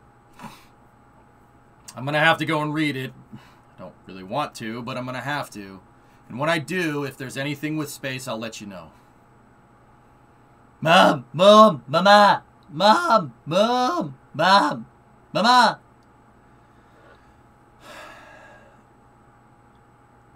Oh yeah, Brim. I'm not. I'm not gonna be like the popular Twitch streamers out there with their hot takes every five minutes on, and their expert analysis on every single freaking current event, dude. The truth behind this is that you know why is the Russia invading Ukraine? I don't know. There are stated justifications, but mm, the justifications seem to be a little bit flimsy. So that suggests ulterior motives. But what that I don't know. Do I even know if it's an ulterior motive? No. I have no idea. And I ain't going to give you a hot take. I ain't going to weigh in on it. I don't know. Unless unless I could get an interview with the president of Russia right now or the, the president of the United States, which probably isn't happening. I don't know. And even if I did, they wouldn't tell me, you know? So don't forget Kourou. Yep. So what are the paths forward options for the ISS? Keeping Soyuz flying? Um, the problem is with the rockets have the end for a long time. You can imagine consolation, but like 10x worse. I mean, Bauxy, I can't sit here and tell you that anything good is going to come of this with when it comes to space. And if something does, it's probably not going to be realized right away. You know what I mean? Discovery, go at throttle up. Exactly. Well, Brimo, did you did you read what he said? Interesting way to put it. Uh, little weird, but all right. Like, like I said, fellas, I'm not trying to be a shill for the Russian Federation or any crap like that. I I went and read what Putin's speech was about. I went and read, and you know what? It made me it made me feel a little bit better because it shows that the guy isn't completely freaking unhinged. Like and you know what's funny is that's what we saw on Fox News, Remo. We saw that on Fox. We saw that on CNN. Putin's crazy. He's out of his freaking mind. Blah blah. It's like no, no. A guy wouldn't write like a five thousand word speech on justification for invading another country if he was unhinged. And even then, if he did, it would be it would be a useless rant about stuff like what Mustache Man did in in 1939. It's just a useless rant about it how we hate you and stuff like that. That's not what that speech was. It, it, it, wasn't that. It, it showed it showed premeditation and coordination. So once again, it kind of reassuring because you know that guy's in control of like six thousand nukes or something. So that made me feel a little bit better. I'm not gonna lie to you. But once again, I ain't saying that I agree with him. Hell no. I think you're freaking nuts. But once again, it's important to understand context. Yeah, cooking, just because you understand doesn't mean you agree. Right? That's a real important thing to that's a real important thing to grasp. I read his speech. I understand what he's I understand what you're saying. I get it. I don't agree with you. I, I really don't agree with you, but I understand. You know, eh, with all due respect, agree to disagree. That's fine. That's totally okay, guys. That's my take on it, dude. And if people disagree with me, that's totally cool. I I take the time to understand. And not I'm not saying that anybody here doesn't do anything different. Everyone's going to have a different perspective on something. I'm not going to get mad that people are disagreeing with me. It's just yeah, I, that was my interpretation of it. And it seems like Dimitri is saying something very similar, just kind of play it cool, but I I mean I still don't agree. I don't agree with what he's doing. I think I think you're out of your freaking mind. To be honest, you know? OneWeb is definitely going to suffer. Yep, yep. I mean, you you can really tell, and it really comes through that he, he is not happy that the Soviet Union broke up. Uh, I think. I think. He, well, it's not so much that he's not happy about it. it. It's it's annoying that he they didn't have any say in how it broke up. That's that was his justification in the speech, which is just all right. I mean, you did though. Who is OneWeb? OneWeb is an is a UK and Indian company that manufactures internet satellites in the US and they launch on Soyuz rockets. So yeah, OneWeb's pretty screwed. You know, Imperator, I think that's his justification that you know I you know Russians didn't really have a say in how Russia got cut up. What that, that's what he was trying to say. I mean it it was least it was at least coherent. Let me let me let me say that. And once again, fellas, I ain't trying to give the freaking guy credit. I think he's out of his mind. But it, it was a coherent argument. I I get it. I don't agree with it, but I get it. You know.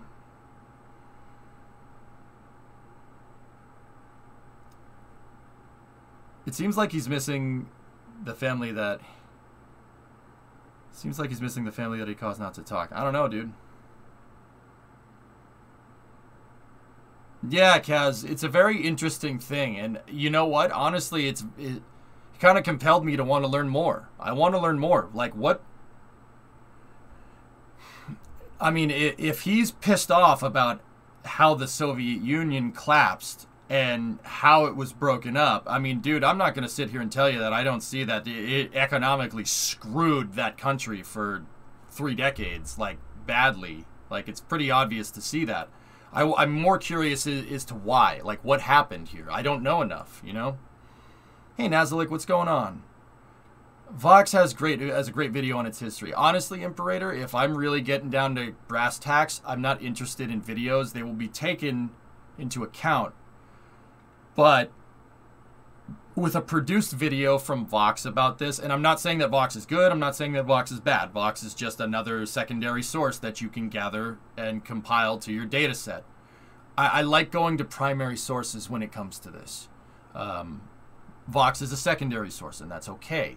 Secondary sources can be cited, but after vetting. This is writing an essay 101, guys. Did you guys learn this, right, in school? Whatever your reasons are, war is never a good option. Yeah, Thrawn, you'll you you'll get no argument from me, guys. I've been ad, I've been very very anti-war, and I've been anti-war for a long time. Why do you think I don't make weapons in KSP? Even though we could. I know how to. I'm not going to. I tried it once, and I hated myself for it. Hi. Hello, sir. Uh, this is the Hyperfocus Police. We just want to make sure that we're still sticking to space politics and not veering too far into the realm of political opinion, and so I just wanted to come in and do that. Okay, thank you. Okay. Oh no, it's the cops. The firework launcher. Yep, yep. so, the fellas, once again, I hate weighing in on pol- political stuff. I hate doing it, but I'm gonna learn. I'm I'm gonna get down to the truth because that's that's important. So, I think we covered. With that being said, I think we've covered everything that needs to be covered when it comes to that. Um, Crikey, it's the roses. uh, geek, I just went through it. Um, like in the past 30 minutes. So, yeah, if you want to go back in the VOD, I don't really want to repeat myself, man. Usually I'm all for it, and usually I don't mind repeating myself 30 to 40 times. It's fine. It's okay. It helps me get the it helps me get the point it helps me get the point across. But yeah, I don't want to talk about this anymore, man. No, I know you just got here, dude. It's all good. There was a poll on CNN, and 77% said we should go to war. They don't understand. Well, cooking. Can you link that poll for me? I'd be interested. If you guys want to see how I cut through information, I wouldn't mind showing you what I do. Now we can relieve some stress by rotating the camera around the SPH for the next three hours. Thanks. Thanks, Jim. The next two Northrop Grummans are already scheduled to use significant delta V margins to boost the ISS. Yep, okay. Yeah, Papa Bear. Mm-hmm, mm-hmm, mm-hmm. It was about NATO going to war. Very different wording. Can somebody link me to said poll? What's the, so? Okay, guys. All right. If you want to look at a poll, polls are used all the time. The the 24-hour news networks love love polls. They really really like them. They love polls to because they like telling you a slant to a story. Okay, uh, 60% of people like going number one. 20% of people like going number two. You know, and 20% of other people like going you know number one and number two at the same time. Okay, what's your sample set? What's your data set? Did you oversample or undersample? Like, who did you talk to about this? How many people did you talk to about this? How many people here out of that group like going to the bathroom? How many people don't like going to the bathroom? You know what I mean? Like, sorry, I don't mean to use a poop joke. I'm trying to keep the humor, keep keep the humor going. But you get the idea. Polls feed seed airtime. Yep. Polls are not. I'm not going to say that they're not accurate, and I'm not going to say that they don't reflect, you know, certain certain things. It's just really dependent on your data cri- your data set. What data what data are you sampling? So, for instance, and also timing on a poll is very, very, very, very important. Okay. So, what do I mean by that? If I'm playing Kerbal, okay, if I'm playing KSP, and we're in the middle of a we're in the middle of KSP, okay, and I say, do you know, do you guys like Kerbal Space Program? And I just put a poll out in Twitch chat. What is it going to say? Yeah, of course, it's going to be overwhelmingly in favor of KSP. Now, if I did the same thing when we were playing, oh, I don't know, Summer Car, do you think the poll would give get the same result? No, it wouldn't. It would be skewed because there's people here that are here to watch Summer Car, and there, there. Don't get me wrong, there are viewers that watch me no matter what, right? And I, I appreciate it from the bottom of my heart. Thank you. Thank you for bearing with me over these past couple of months when I've, you know, kind of just been playing other games. I really appreciate it. Uh, but you're going to get a skewed poll, so it, it it's not just about data sets and what people think, or not. Well, no, it is about the data set. It's not just about what people think and you know, what's your opinion on this? Opinions can change. They can change all the time. When did you sample this? Why did you sample it? Who did you talk to? What was your are you oversampling or are you undersampling? There's a lot there's a lot to do with polls. You got to be very careful. Like guys, I've seen it so bad that on the news like I think I saw a poll one time around election time in 2020 that said, you know, you know, one guy is way heavily favored over the other one, but if you go and look at the results, eh, you know, minus electoral votes, you know, it's it, wasn't necessarily what's going on. Electoral, the electoral college is there for a reason to prevent majority mob rule, and I, I find that that's really it's a really good idea. Um, but I looked at this poll right, and it was heavily skewed to one candidate or another. You know, it was heavily skewed. They oversampled. You know, they oversampled people that didn't like the incumbent over people that did like the incumbent. That that's that's that's junk data. That's that's not being scientific. Why is that not being scientific? Because when you're being scientific about something, you don't you don't look for something to confirm your data. You look for something to disprove your data. That's what being scientific is about. That's how the scientific method works. You're not trying to prove you're not trying to prove it outright. You don't look you don't search for information that confirms your hypothesis, all right? You you, you don't do that. You you do you don't find stuff that fits what you're the hypothesis that you're trying to make. You try to disprove it. That's what and once again, these polls are skewed. They're skewed hard in one direction or another. So and everyone does this to be honest. Every everyone everyone does this. It, it, like it's kind of nuts and it's really hard to keep track of. Out of eight turkeys and two ducks 80% are against thanksgiving. Exactly geese and there you go. I mainly watch you for space news. Yep yep. I'm here to hear you scream about everything. Ah ribs spare ribs! Yeah exactly. Mm -hmm. Now, Lexi, if I'm not going to sit here and say that polls are not accurate, of course they're accurate. Duh. If you ask five people whether they like EJ or not, and four of them say, you know, oh, I hate his guts, like that does does that mean that that's inaccurate? No, it's not inaccurate. But what's the point that you're trying to make? That I'm a piece of crap? Like, I mean, you might be right. I don't know. you might be, maybe, maybe. like, I mean, that if there's a theory, there's a possibility that I, you know. But yeah, I mean, you got to be careful with polls. Could now, with that being said, did anybody link that poll? I'd I'd be curious. Not having much like finding the poll. Oh, uh, it was on it was on Hassan's stream. Okay, okay, cool. People can lie because they think their answer. Yeah, exactly. People could be afraid to speak out. Happens all the time. All you got to do is look at history. Like, do you think there were people in the Soviet Union when Stalin was alive that didn't like him? Oh, yeah. Would they have said anything about it? No. no, unless you feel like dying today. You know, like, eh, don't get me wrong.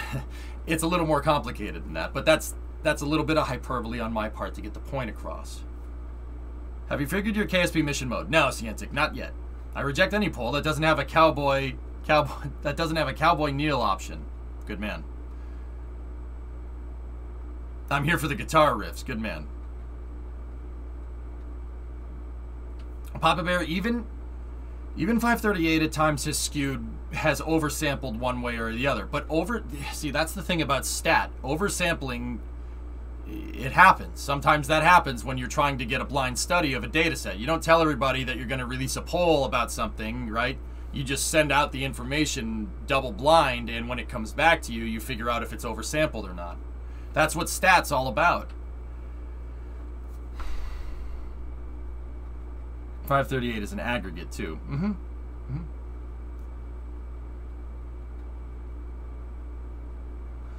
Cooking.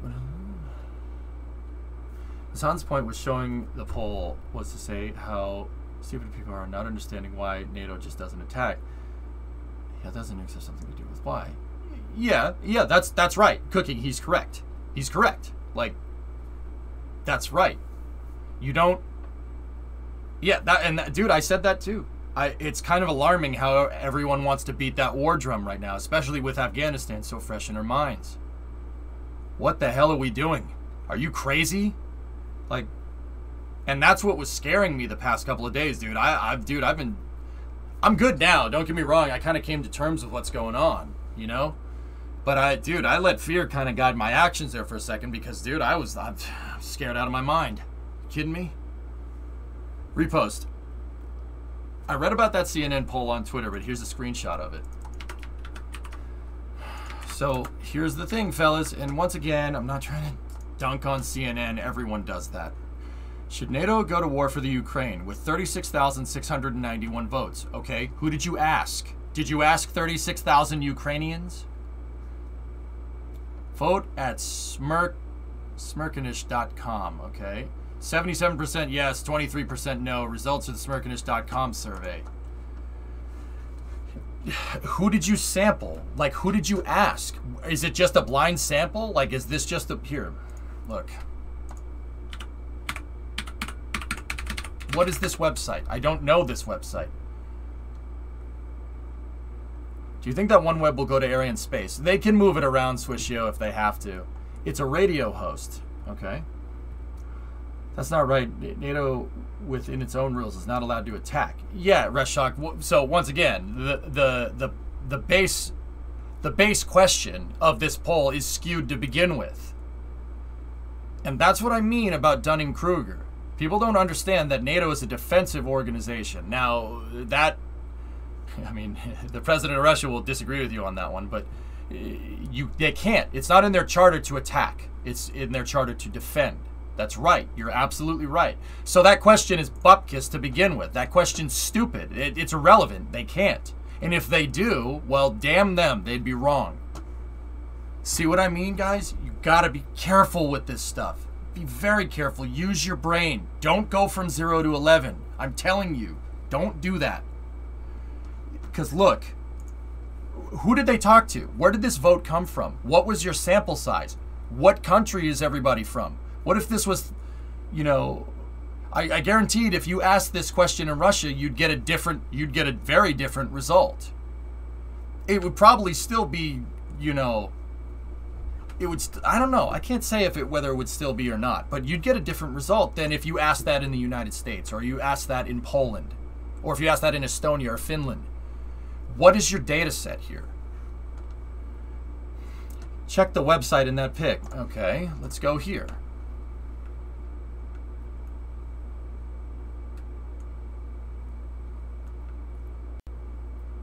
Okay. What? I, there's nothing about it here. You don't like NATO. Well, Monblin, that's, I'll be honest with you, man. That's the kind of stuff I say don't do. Great, you don't like NATO. That's fine. We're not talking about whether we like NATO or not. Don't change the subject. And more importantly, you're weighing in with an opinion. You know good and well there's people that are going to disagree with you about that. Now, I'm not saying I disagree or don't disagree. But what does that what does that do? What is weighing in on it saying you don't like NATO, my country's better than you? What is that going to do in a time of war? Is that going to help anything? No. No, man, don't do that. Stop. Please. Don't don't don't go to 11 like that. Trust me. Don't do it. It's not a good idea. Now, I'm not saying you can't speak your opinion either. But you got to be careful, man. You don't want to put fuel on the fire. This can get out of hand real quick, man. Don't do it. Yeah.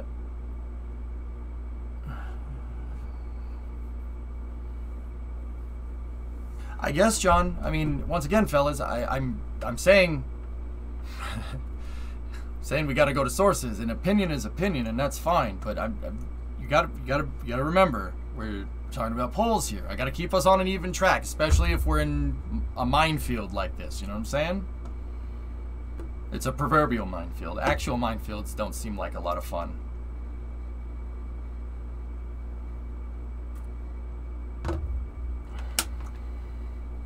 I I don't I don't know what this site is. I don't know what Smerconish is. I don't know where this poll where this poll is, where it's sampled from. Like I'd have to go look. But see what I mean, dude? It's dangerous, man. It's no good. I like NASA's tweet that put things in perspective. Sure, sure. What's up, Maggie? What's on your mind?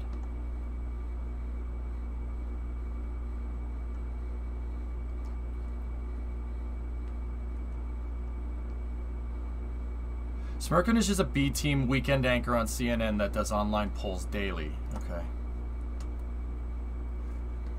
Yeah, Brian, I'm going against the grain on this one, man. I'm sorry. Like, I'm not doing that. Uh, I'm not. I'm not going along with everybody else. This is nuts. This is this this is, dude. I, I please excuse me for being so candid during this. This is fucking crazy. What are we doing? Like, CNN put that poll on the airwaves. It's irresponsible. I agree. And I think Hassan is very smart for pointing that out, Cooking. If you really want my honest opinion, I don't agree with everything that he says. I agree with some things that he said. I very much agree with him on this. Absolutely. Oh, absolutely. You are freaking nuts. If we. Like. That, that that's crazy. But you got to remember because this polls this polls data set might not reflect reality because we don't know the sample information. You don't know it. You don't know it.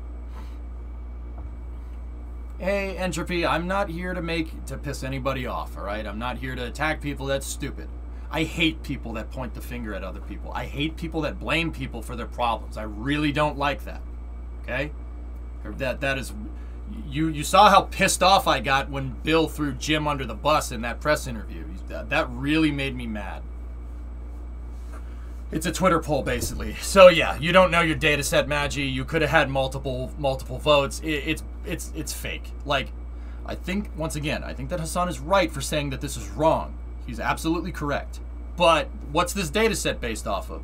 It's skewed. It's absolutely skewed. There's no way that it's not. And until I see the source information, I'm not going to think otherwise. So that means that this poll is very dangerous, like other polls out there, because it's designed to get it's designed to, to make you think something. Oh, well, a lot of people want to go to war. Okay, maybe I want to too. You know, like okay, maybe that's the right decision. That's very dangerous. That is a that is a very dangerous thing. You're putting out unconfirmed unconfirmed, potentially skewed data and reporting it as news. That's not good. But also, it's important to take into account that that poll might not reflect reality. I'm fairly confident that the vast majority of people on this planet do not want to fight each other. Am I wrong in assuming that? It is an assumption, and you got to be careful with assumptions. However, I'm pretty sure we all don't want to fight each other. I don't want to fight anybody. I think that's counterintuitive as hell. Oh, Josh, it's not just us. Everyone does it, dude. It's annoying and it's very it really it really it really jars on you, which is why I don't watch which is why I don't watch them. You know what I mean?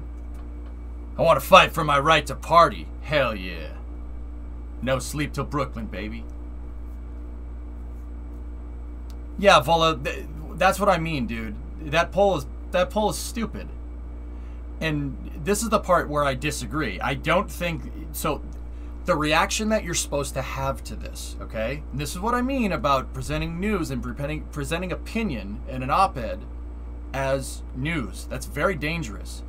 What's the reaction that you're supposed to have to this? What is the natural human response to this? The natural human response to this is, "Oh my god, people are freaking crazy." But you don't know that. That's not true. And until you see a data set, it doesn't freaking matter. That poll, I would disregard this poll. It doesn't. I'm sorry. There's no concrete. Who, who did you sample? It's a, it's an internet poll, so people could have voted 80,000 times. Somebody could have made a bot to just keep hitting the the yes button. In fact, that's probably what happened. You, you see, you got got to use your brain a little bit, and sometimes that means drawing connections that you might not be able to to to prove. But like I said, the overwhelming response from people, I see it in this chat. I see it from pretty much anywhere around the world. I know where you guys are from. Like, I'm not trying to say, like, oh, I know where you live. Like, you guys talk to me. I know you.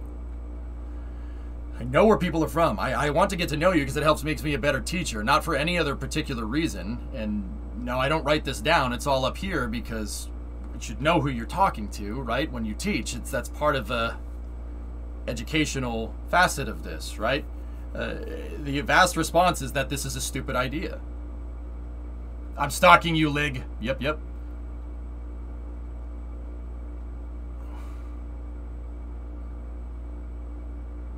Yeah, of course, Geek. That's fine. I'm not interested in ratings. And my view count's probably tanking that I'm even talking about this. I don't care. It needs to be said.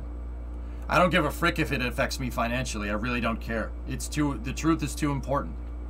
The truth and keeping a cool head is way too important, especially right now. Because, dude, it's scary. There's no use driving people up into a frenzy for no reason, okay? Especially if people are seeing stuff like this. All this is going to do is make someone's day worse. Why do you think people stop watching the news? Why do you think people feel so alienated about watching any type of news at all? Or why do you think people detox from social media? That's the reason, right there. The poll could have a biased sample.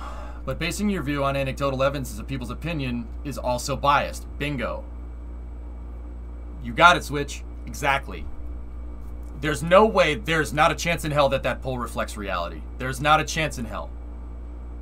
And that's what I mean about the news. You've got to be careful. Because the news gets you to, they, they try to, they try to make you outraged into keep, wa- into, into, into watching over and over again like a soap opera it, it's not good. That's super dangerous. And I really have a problem with it. And you know what? I'm not saying that one person is good over another. Everyone freaking does this. It's it's aggravating as hell.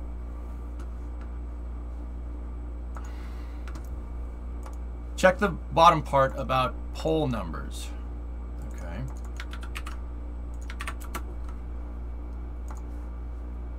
All right, what's this article about? Let me see.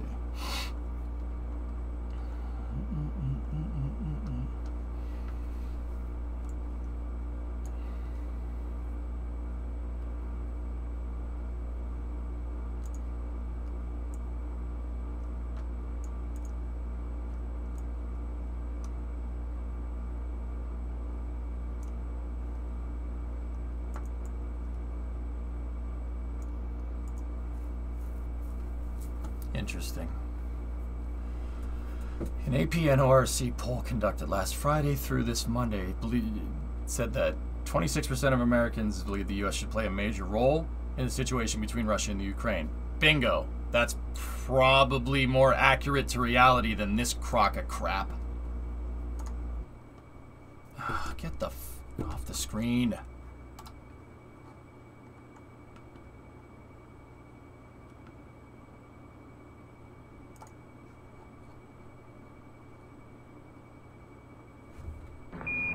Listen, uh, Tranquility Base here. The Eagle has landed.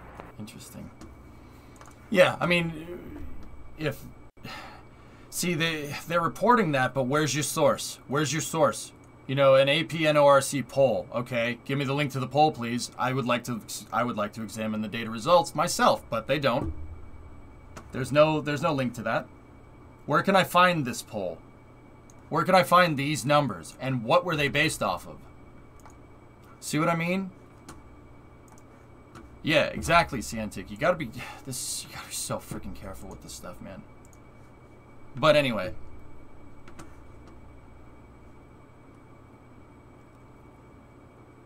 Here's the AP link to the poll itself.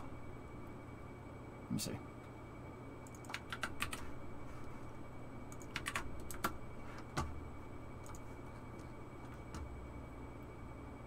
I didn't look into that poll as my bullcrap sense was tingling. Maybe I was wrong, but at any rate, the question is nonsensical.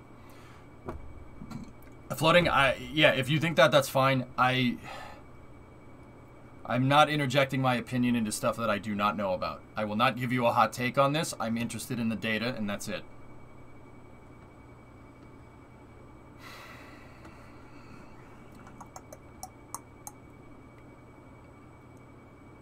I'm reading the article real quick. Here, let, yeah, I'll just do it with you guys. I don't care. Just do it on stream. We're already here. Most Americans are paying at least some attention to the increased tensions between Russia and Ukraine. While most of the public thinks the United States should have a role in the situation, there are more likely there are they are more likely to say it should be a minor role rather than a major role. That's good. But foreign 10 Americans approve the way that President Joe Biden is handling the foreign 10 Americans. 53% are concerned that Russia's influence around the world poses a threat to the United States, because, of course, uh, only about a quarter have a great deal of confidence in the U.S. government's intelligence agencies. 46% have heard or read a lot about the military buildup in the Ukrainian border, and 29% have heard or read some. People have been paying at least some attention to the situation in the Ukraine are more inclined to support a role for the United States. 32% say it should be a major role, 51% said it should be a minor role. Among 20 among the 24 who are paying little to no attention to the tensions between Russia and the Ukraine, 34% of the United States should not play a role in the situation in Ukraine. Most people on either side of the aisle agree that the United States should not only take a minor role in the situation in Eastern Europe, yet Democrats are slightly more likely than Republicans to think the United States should take a major role. Okay, where's your sample set? Where's your data set? Who did you talk to about this?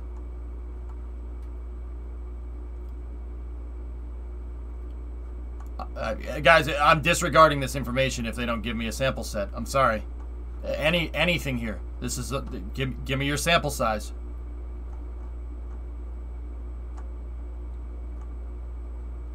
Did I miss it? I may have missed it. They state the data set at the top of the page.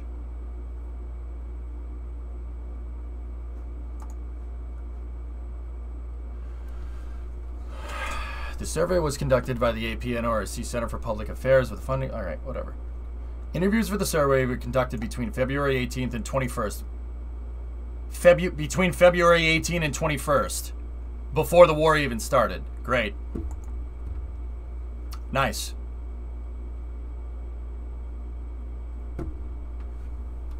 Oh my god.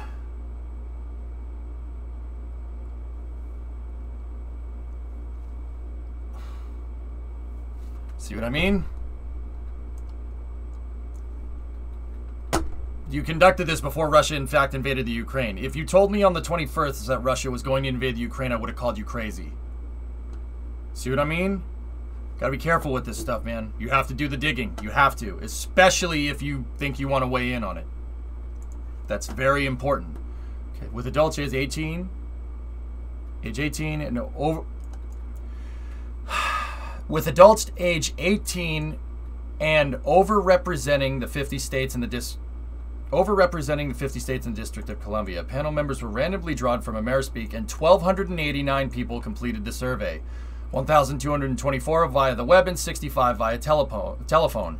Panel members were invited by email or phone from an NORC telephone interview, and interviews were conducted in both English and Spanish depending on the respond- respondent preference.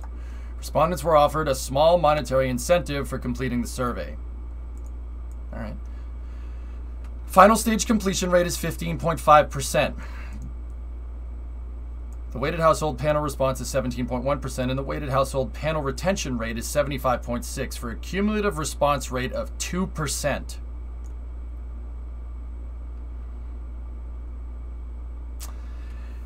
The overall margin of sampling error is plus or minus 3.6 percentage points at the 95% confidence level, including the design effect.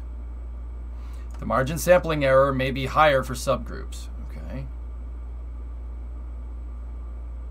Black respondents were sampled at a higher rate than their proportion of the population for reasons of analysis. Okay.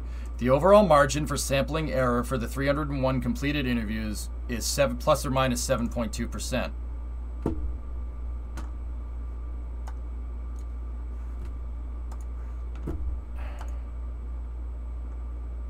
If you're oversampling a demographic for analysis, why are you using that to prove a different thing? You're oversampling one demographic over another for analytical purposes. If you're doing it for that, why would you not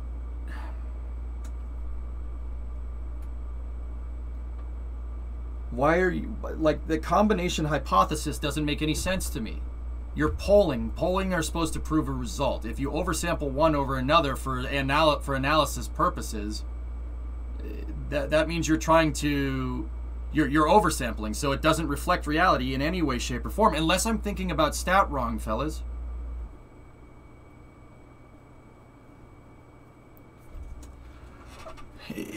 Statistics are both a wonderful tool and horrible tool. See last. More importantly, the monetary reward for voting yes. I don't think there were people were compensated for their time. Firework. They were paid to complete the poll. That's all. That's all that says. The, the monetary thing doesn't play an effort here. If they said, you know, if they said we'll pay you for voting a certain way, then I'd be concerned. No, no, not monetary incentive for voting. That doesn't make any. No, that's not what's going on, dude. You gotta, you gotta take a stat course, man. That's not, that's not what's happening here. Ginny, I'm looking for your last. The poll doesn't matter, not because of sample size, but because not because of who was polled, but because the average person anywhere does not have all the knowledge needed to decide if the war with anyone is ever appropriate. That is why we have governments and leaders intelligence committees. That's what I mean. Uh, yeah, that's part of what I'm trying to say. You got to be careful with this stuff. I don't think any of us are qualified on this unless you're a stat major. I'm pretty good at stat, Papa Bear. Yeah, I'm I'm pr- I'm pretty good at I'm pretty good at stat. Yeah, pretty damn good at it actually.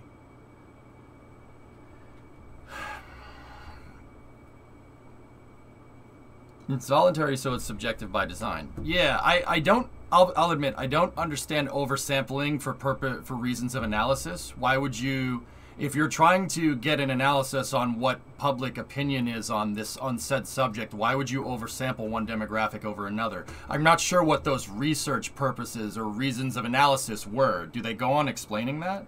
I'm, I'm looking through. Now, of course they don't.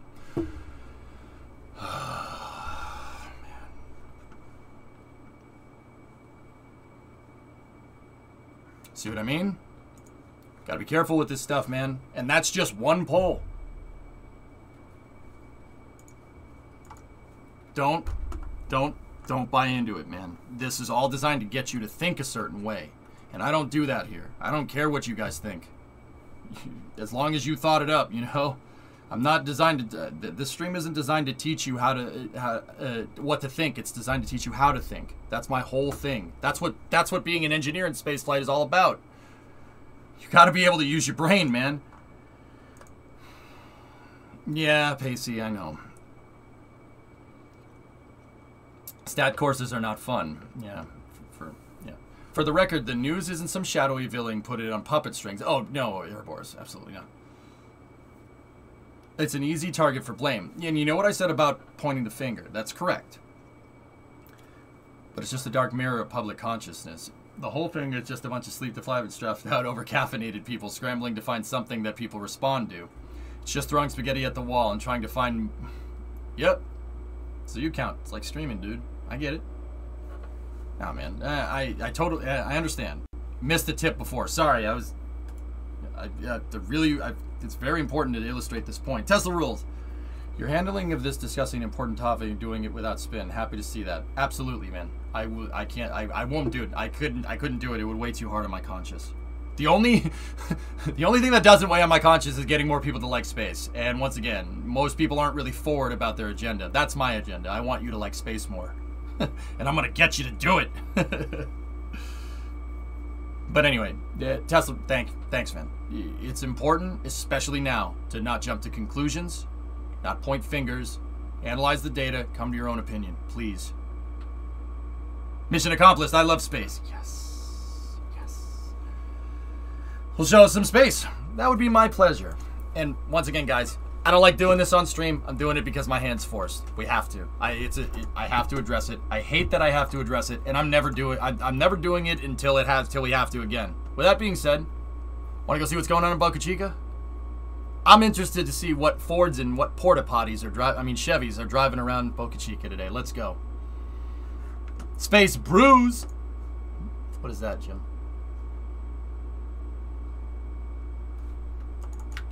What is this? What is this and where can I get it? Porta potties? You shut your mouth. Back to no politics. Yes, drummer, that's fine.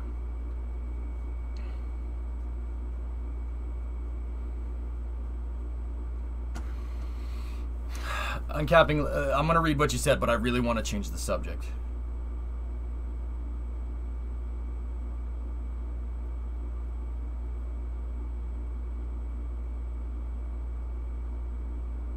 Yeah, that's uncapping. I I think I think you're kind of in the ballpark there. Absolutely. Uh, but that's in the past, man. All we can do is learn from the past and make sure we don't repeat. But that seems to it seems like that's getting harder and harder every day. okay, we're back to no politics, guys, and hopefully this is the last time for a while. But if there's any other news out there that has where politics and spaceflight collide, you're we're, we're gonna have to do it again, and I don't want to, but to say that this would be the last of what's going on with you know the Russian space program, the American space program, the Chinese space program would be very foolish. Uh, you know, if it if it rears its ugly head again, I'm gonna do it, and I know good and well what that people don't want to sit here. You get enough of that during the day, believe me, I know. Um, but yeah, when we have to, we have to. Truth is more important. Truth and context and critical thinking is the most important thing that we have. It's it is a it's the reason why we're not a bunch of chimpanzees running around all over the place throwing poop at each other, okay? the fact that we can use critical thinking and we don't rely on limbic function to govern our lives like a pig or a dog or anything else is very important. You have that tool up here. Please use it. Anyway, Starship stuff. Let's go.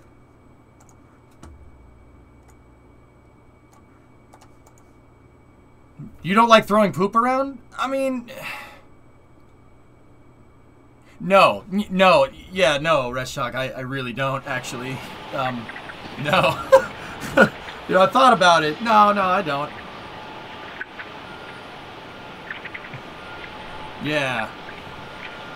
Yeah, you know what? I thought about it. Nope, nope.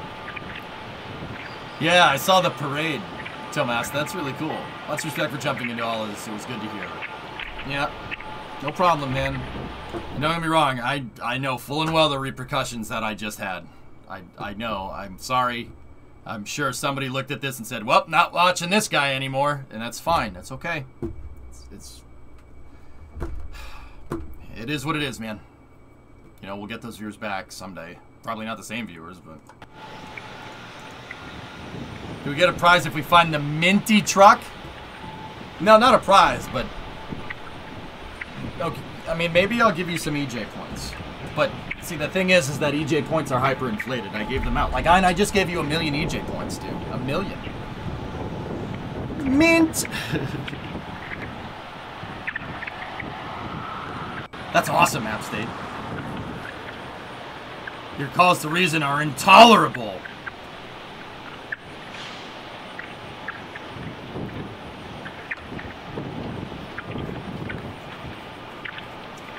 no, John, Jesus, no.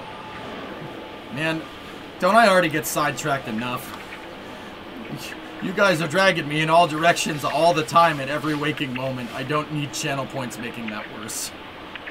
Please, I'll go bananas. Please don't make me do that. Casey, I recently adopted a dog from a blacksmith. When I got the dog home, it immediately immediately made a bolt for the door. Oops.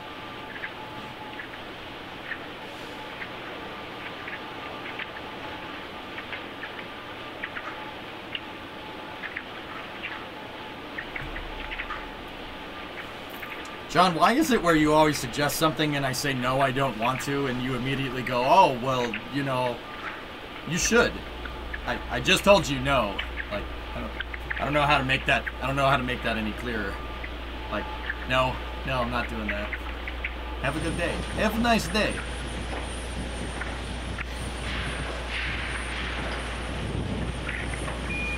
Brisbane, uh, Tranquility Base here. The Eagle has landed. Hard to get rid of you, Brand, but I gave you one billion brand points.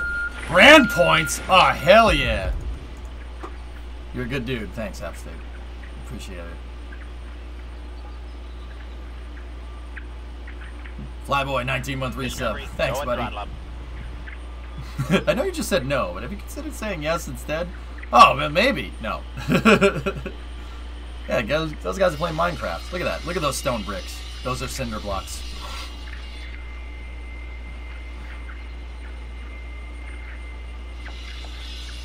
What's the conversion rate for EJ points to Schrute bucks? Oh, I don't know.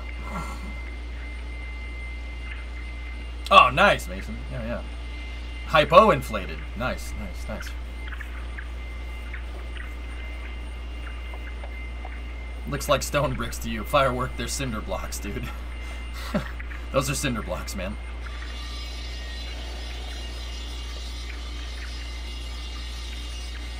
Yeah, there might be a creeper up there.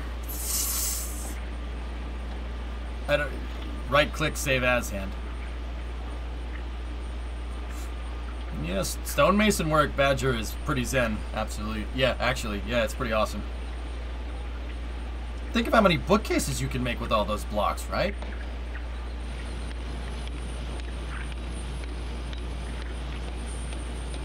Oh yeah, there's the motors right there.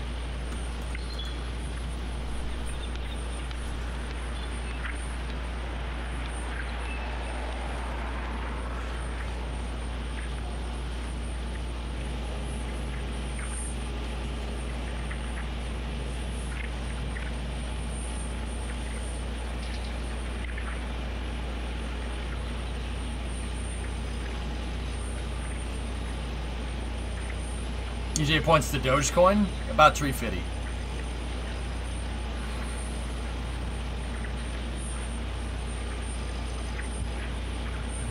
Like I said, fellas, look around for the scaffolding. The less scaffolding you see means we're closer to being ready to go. Interesting. I wonder what those wires are going up the side, dude. Yeah, yeah, yes, Trippy. Redeemable at said Loch Ness Monster. Yeah, yeah, exactly. You guys know. Why are you asking me? You knew already.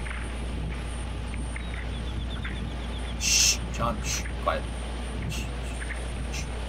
That's a new quick disconnect. Interesting.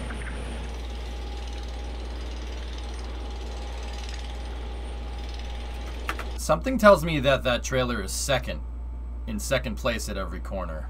Um, I don't know. I don't know why. It's just just a hunch that I have.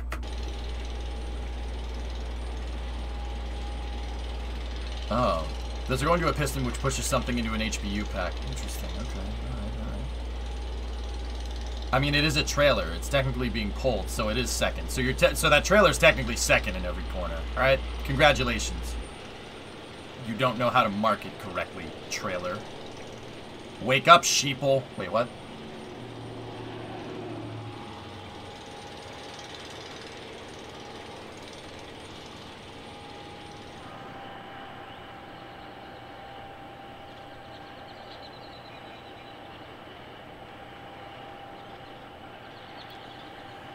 More crane parts delivered. So that looks like a main boom and a derrick. This top piece is the is the derrick from what I can tell here, and then your main boom is right there. Uh, this suggests that the Liebherr 11,000 is getting rebuilt.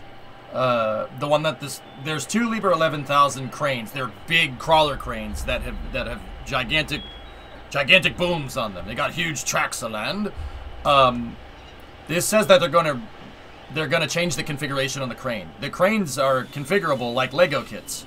So actually, it's more like Meccano. It's a giant Meccano set, um, and you can configure the crane depending on the type of lift that you need. And these are this is all the paraphernalia that you need to build the crane.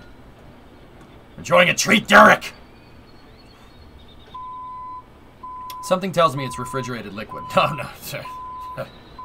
Come on. The quick disconnect thing. What's Zach got for us?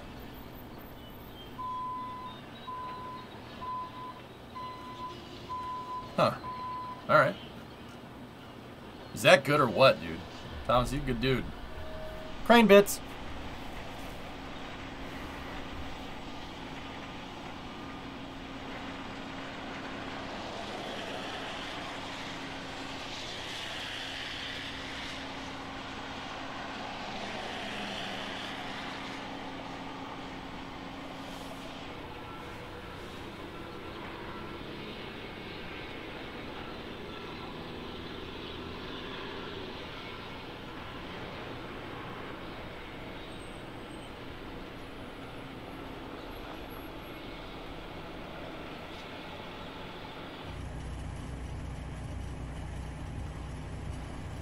Ah, what is this thing?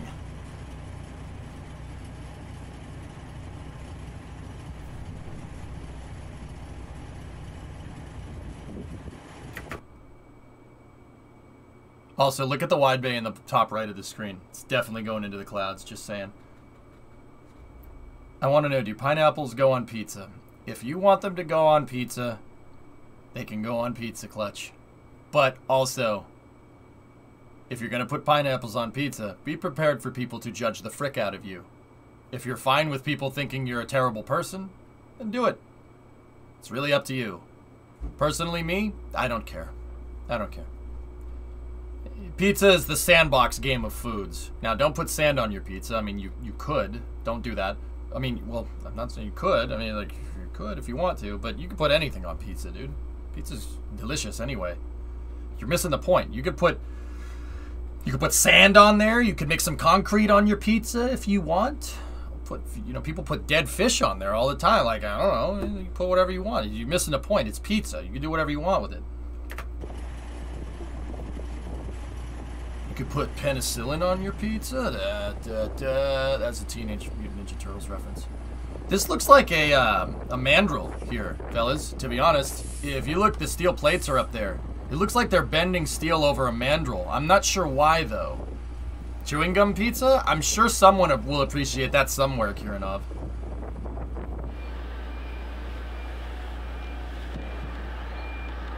Yeah, Thomas, that's a little weird. I put living fish on my pizza, okay. That's a little strange. Pod bay doors? You think so, Jim?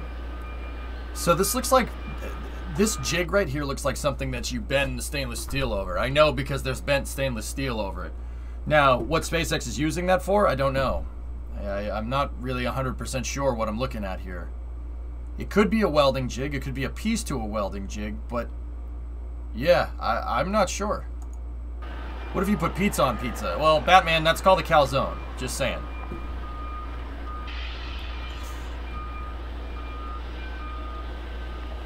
Yeah, that's true, Chris. Yeah, maybe. I made you a pizza. Uh, I just had pizza for lunch, actually, so I'm good, man. I'm just kidding. You can eat pizza anytime. You know, I think Aristotle said pizza in the morning, pizza in the evening, pizza at supper time. When pizza's on a bagel, you can eat it anytime. Yeah. There's Aristotle. Aristotle versus Mashy Spike Plate!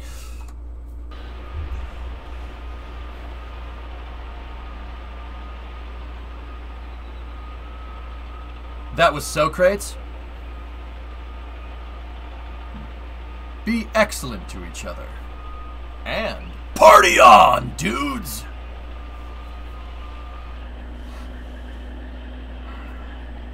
I think this has uh, pudding in it.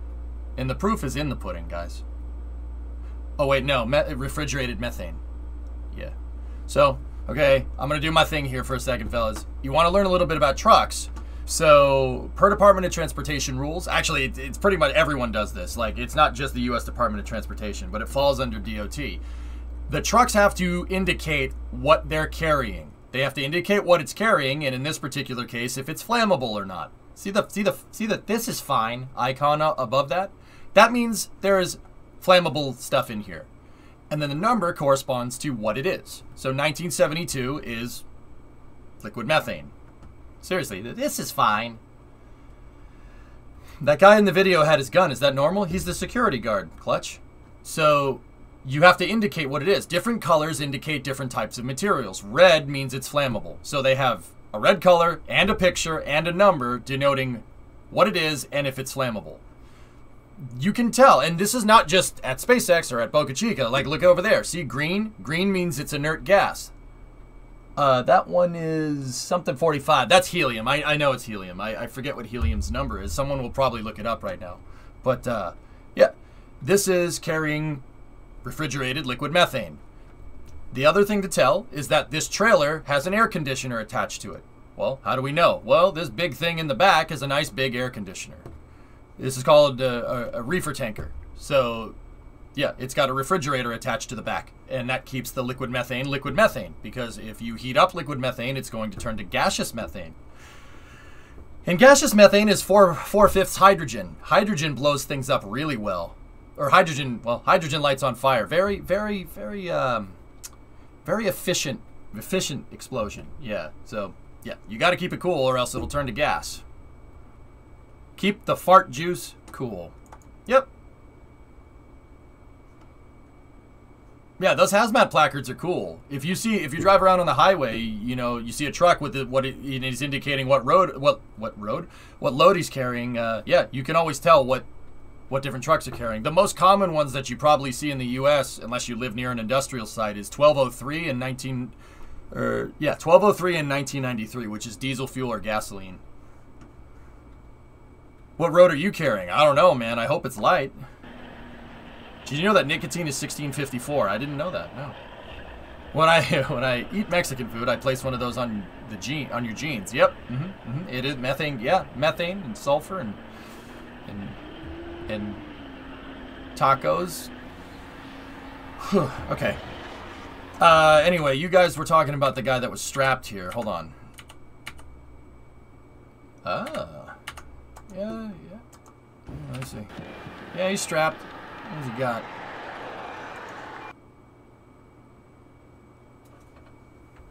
Fellas, I'm not going to lie to you. That looks like a taser. But it is Texas, so it's probably not a taser.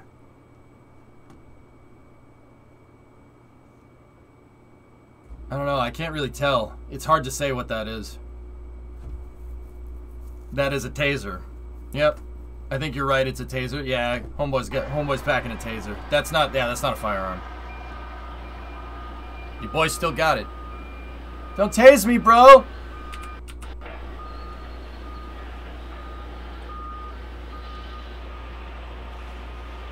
With that being said, guys, I, I, I, don't make it a thing to mention it because it's not really pertinent information. But then again, I do point out all the stupid trucks that I like. Um, yeah, guys, there, there's we've seen the security guards around Boca Chica strapped. Oh yeah, they're not. I've seen I've seen the security guards there before, and they were they were not carrying tasers. Yeah, in the past, I've seen I've seen fully kitted out guys like that that have like a flak jacket on and stuff. You love that truck? Ew. That? No. Bandit. No. Stop making yourself look stupid.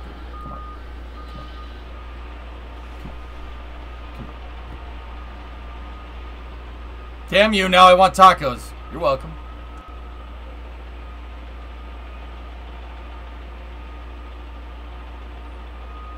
I'm not sure what those are. In a porta potty. Okay, I'll admit that's pretty funny, but also trippy. You shut your mouth. I'll admit that that's funny, but also frick you. All plants that are dealing with flammables in Texas do not allow firearms in the plant area. I would not be surprised if Starbase is now falling under that rule. Yeah, yeah, Zeppelin, you know what? That's probably a good idea. Yeah.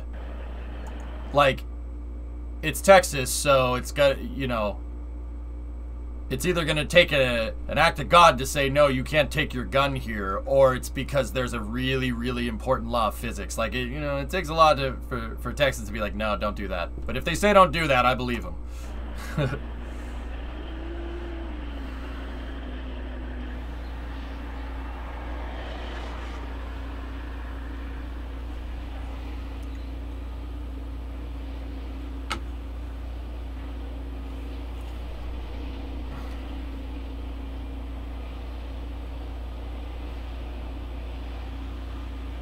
Oh, there's the welder. Look at that thing. What the hell? Look at the circumferential welder. That's so cool. Ah, I see what they're doing. You guys know what those are? Who knows what those are? I know what those are. Yeah, hey, Airborce, that's too real. I, I, haven't we been real enough today? Too, too real, man.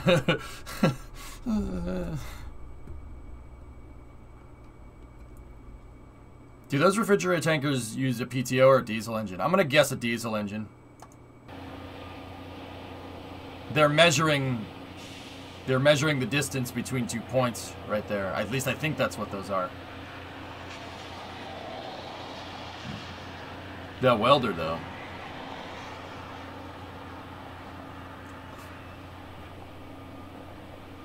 Nerd. Yep.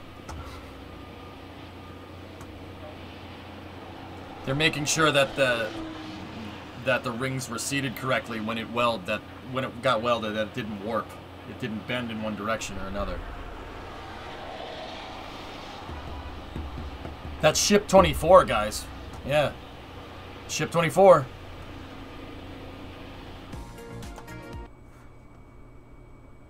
Nice. And that's all that's all that we got from Starship today. Let's see what else do we have there. Guys, did you know that they're still doing helicopter on Mars? What do you think the white substrate material is? Uh, cilia. It looks like cilia fibers, but it could be Nomex. I'm not 100% on that one, Zeppelin. It was stuck for a bit, yep. But yeah, they are still in fact doing helicopter on Mars. Did you know they did it? You, if you didn't know that they did helicopter on Mars, now you know. They also did surgery on a grape.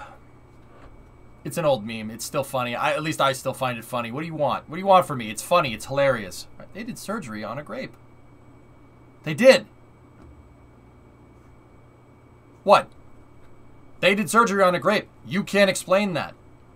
All right? They did helicopter on Mars. It's an old meme. It's an old meme, sir, but it checks out. But it checks out. Yep. Bellabopter. Tide goes in. Tide goes out. You can't explain that. Oh my god. okay.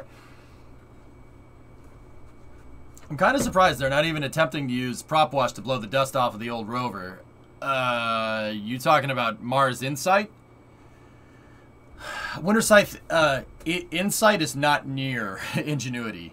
Um, yeah, it's not even close. Yeah, they're they're not near each other, man. That would be a good idea if they were near each other. Helicopter on Titan is in development. Astro, there was a there was a guy in here that was that came in that said he was uh he was working on that project. I forget the dude's name. I'm usually I'm usually better at that. One oh, excuse me, roundabout. There's the space news yawns. Roundabout oh wait, gravity is one third on Mars. It's it's the moon that's one sixth. That's correct. Mm-hmm. They also did surgery on a banana from the other side of the world. Explain that.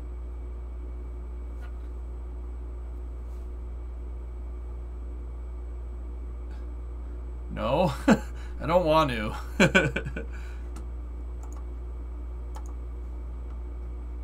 so this happened. Um, yeah.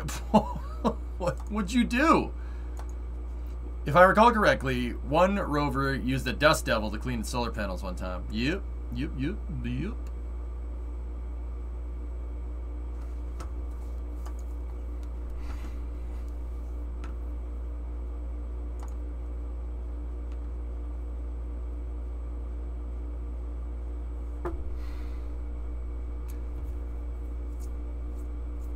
I said in on a development meeting this fall with it for other PhD students. Astro, was that you that was telling me about that? Was that you? I forget now. That's yeah, that's cool. Hell yeah. Hell yeah.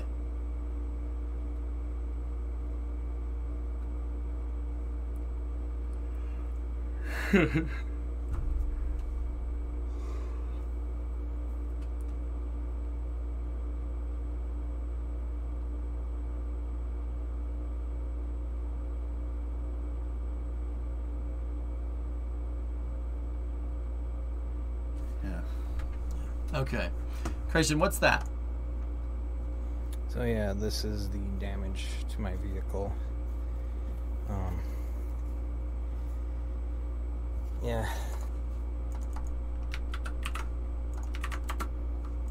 What the frick, dude? Yo, who... Did you piss somebody off? Because that's... So yeah, this is the damage to my vehicle. Um, What the frick? Who'd you piss off, man? Damn.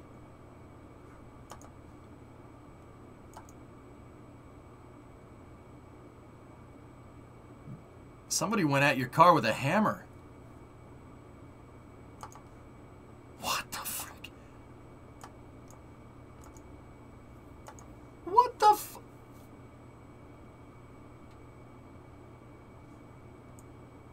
What?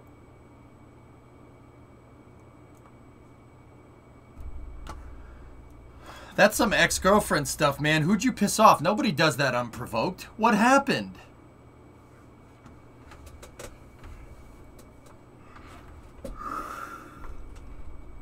What, what'd you do? I mean, that sucks, man.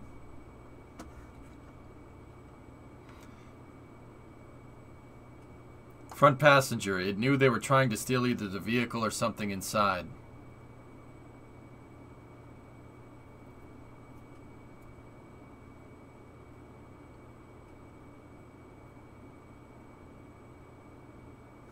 Huh.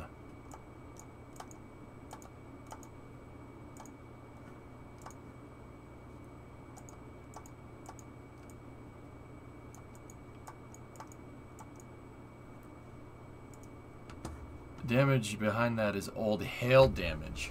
Oh. That's, yeah, okay, that's hail damage. So this right here, huh? What the? Nobody's, nobody said that people that steal things were smart. This person somehow managed to throw a brick at tempered glass and not break it. So, I mean, you have to be a special kind of dumb to, to, to not to literally throw a brick at tempered glass and not break the thing. That's like, all right. Unless there's unless there's safety glass, dude. Nobody said people that steal things are smart, man. I mean, all you literally have to do is tap that window and it'll shatter. all right. Full up safety glass. Oh, wow, even better. So this person wanted saw something in your car, wanted to steal it, threw a brick at it, partially cracked the glass and said, "Oh, okay," and then ran away? I don't think so. I applied for one of the student projects. The main one I applied for didn't get funded. They like my background enough though to sit in on it. I'm going to try to get, apply again spring to work on it. Cool, Astro. Neat. Guy's aim was way off.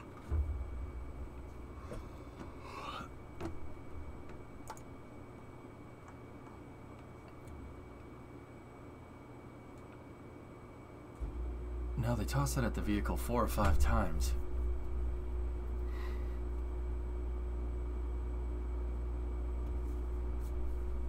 I, I don't know. I don't know, man. I, I don't know. Uh, I, I don't know.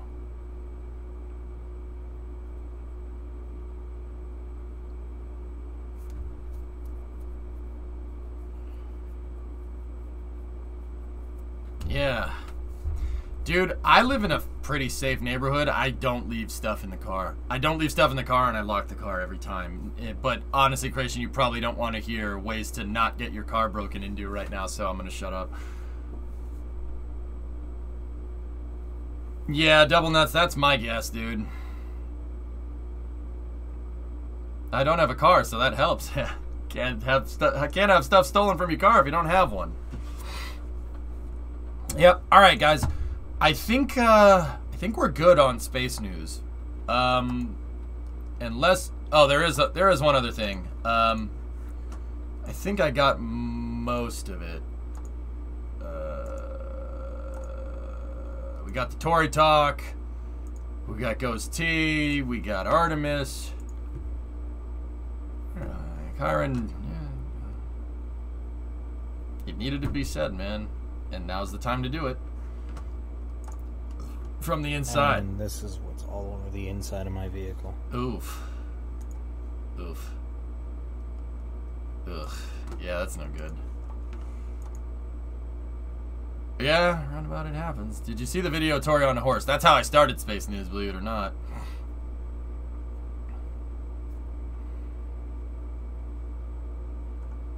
Um, I think I got all of it.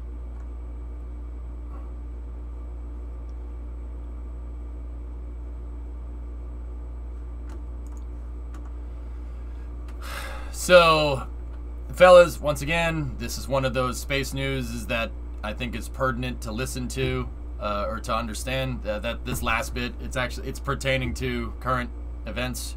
But um, yeah, take it for what it's worth. Here, check it out. So, it looks like the technical mi- or minister of digital trans- transformation of Ukraine asked Elon Musk if they could turn on Starlink over the Ukraine, and he did. Okay. So there's that happening. All right. The uh, guy turned on Starlink. All right. Asking you shall receive, I guess.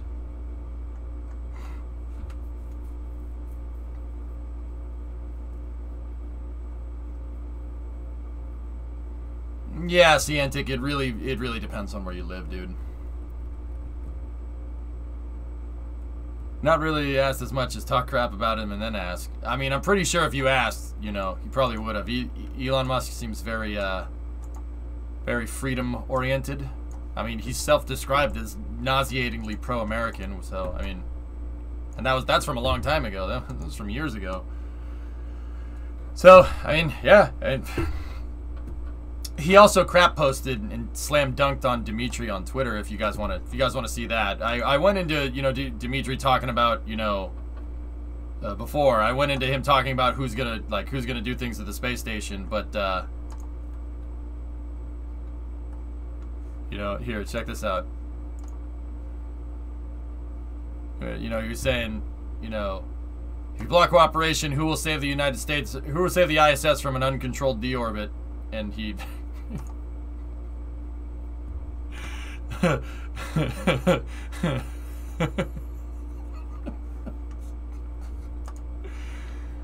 I, dude, I don't understand that. We're we- we're literally watching international diplomacy pan out on Twitter, like. what is happening? L plus ratio. Yeah. This, this is this is 2022, I guess, man. At least at least it's not boring, I guess. I mean, I'll take boring at this point, but damn, dude. it's like real life Hearts of Iron. It so is, dude. I can't I can't believe this. That's gonna be in the history books, homies. Can you believe that? That's gonna be in the history books. And this is the point where, you know, inter no, the history book will be like internet infographics such as this posted by the Ukraine in 2022 were key points in getting the public out getting public outreach and information about about said wars. Like that's going to be in the history books. Like all right. all right. Historians will have to start study crap. Yeah, they'll start have to study crap posting. What is going on? I mean, hey, what? You know, I don't know. I don't know, man. I I think that's funny. It's also not funny. The reason why it's happening, but that's ridiculous.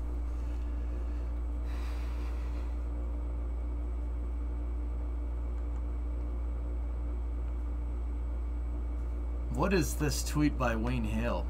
The Wayne Hale's a shuttle flight controller. What is he saying? I don't. Thinking about Barbara Barbara Tuchman's Guns of August, where King Albert and the citizens of Belgium fought the massive um, fought a massive invading army in 1914. What Belgium gave the Allies was neither two days nor two weeks, but a cause and an example. I am not familiar with this. Are there any Belgian people around that can, or, or people that are familiar with this that can clue me in? I don't know what I don't know what he means. What's what's Guns of August?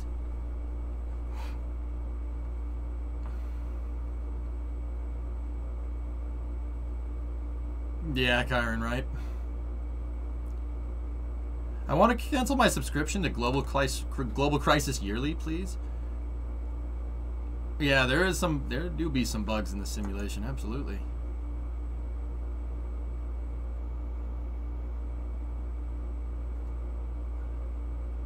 Yeah. Hey, roundabout it. At least it's not boring. You know, that's. I, I, I don't get me wrong. I'd prefer boring. Yeah, but yeah, at least it's not boring. I think I know, but it's too much to type. All right, let's take a look. Guns of August.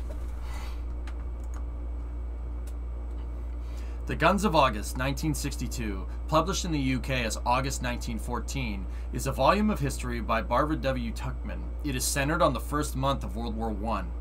In introductory chat, after introductory chapters, Tuchman describe, describes in great detail the opening events of the conflict, its focus, and then becomes a military history of the contestants, chiefly the great powers. The Guns of August thus provides a narrative of the earliest stages of World War I. Oh dear. From the decisions to go to war up until the start of the Franco British offensive that stopped the German advance into France. The result was four years of trench warfare. In the course of her narrative, Tuck, Tuck, Tuck, Tuchman, I'm not sure if it's Tuckman or Touchman. Uh, I'll just say Tuckman, and if I'm saying it wrong, I, I apologize. Uh, in the course of her narrative, Tuchman includes discussion of the planned strategies, world events, and international sentiments before and during the war. The book was awarded the Pulitzer Prize for general nonfiction for publication in the year 1963 and proved to be very popular. Tuchman later returned to the subject of the social attitudes and issues that existed before World War I, which she had touched upon in the Guns of August, uh, Guns of August, in a collection of eight essays published in 1966 under the title "The Proud Tower: A Portrait of the World Before the War, 1890 to 1914." Hmm.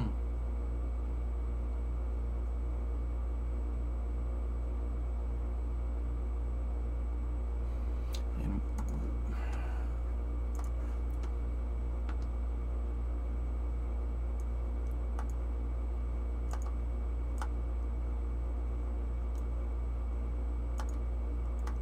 Huh.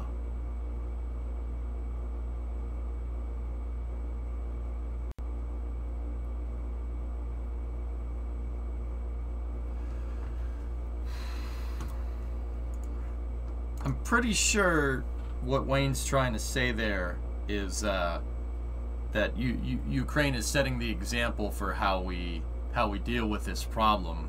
I, I'm pretty sure that's the gist of it, but I could be wrong. Maybe Google speller name? I'm good. Alright, dudes.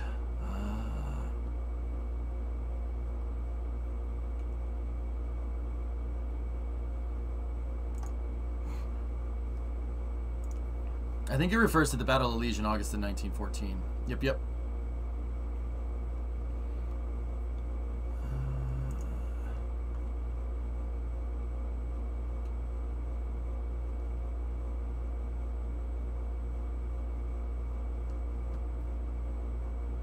Sorry, there was a thread that popped up on in Twitter, and I hate that I I hate that I want to read it.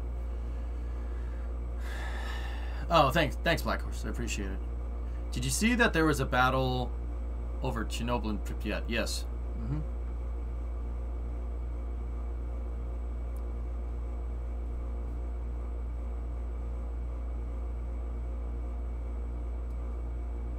Sorry, give give me one second, guys. I just want to thread on no thread thread not threat.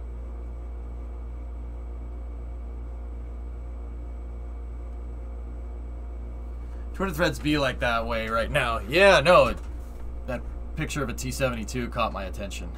I hate I hate that I I hate that I do that. I can't stand it.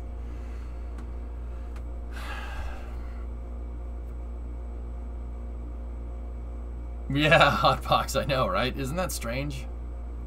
Like, okay, if this is how, if this is how we do this now. Yeah, Sparky. Yeah, they set the set the example. Yeah, yeah. Technically, technically, Twitter is a threat to your IQ. It depends on what you read.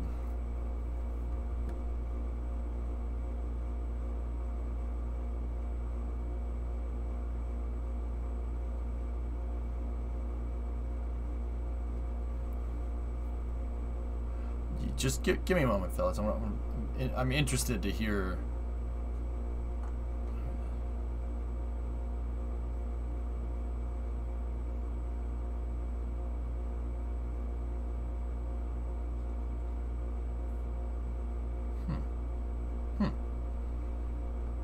The AC background is good ASMR? Yeah, thought you might like it. Here, I'll do this while I'm reading.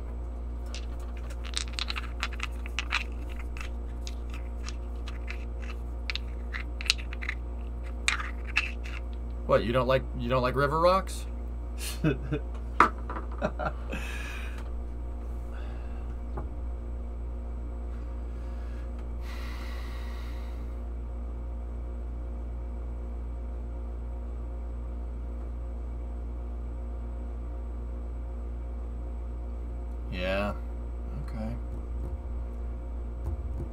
got two coconuts and you're banging them together.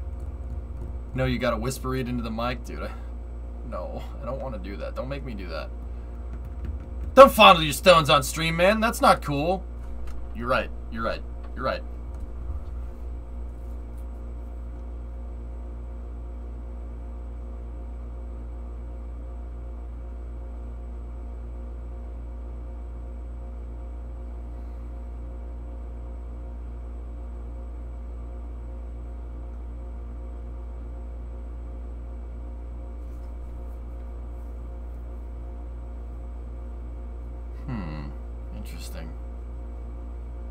That's actually this is actually a really interesting thread. I mean, it's a thread about a thread about what's going on in Ukraine, but yeah. Hmm. Yeah, here I'll, I'll post it in chat if you guys want to read it. It's, it's pretty interesting stuff. I don't want to post something, but it's very Rule 8. Guys, just look. Just because we decided to get into it today doesn't mean we should, you know. Like, so if people want to read that thread, go for it. Um, I'm gonna load up Kerbal, all right? I'm gonna I'm gonna save that thread for later. I want to read the rest of it. All right, so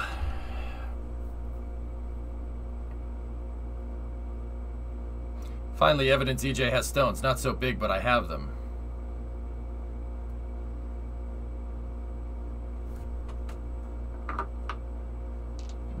And you have to stare at them now.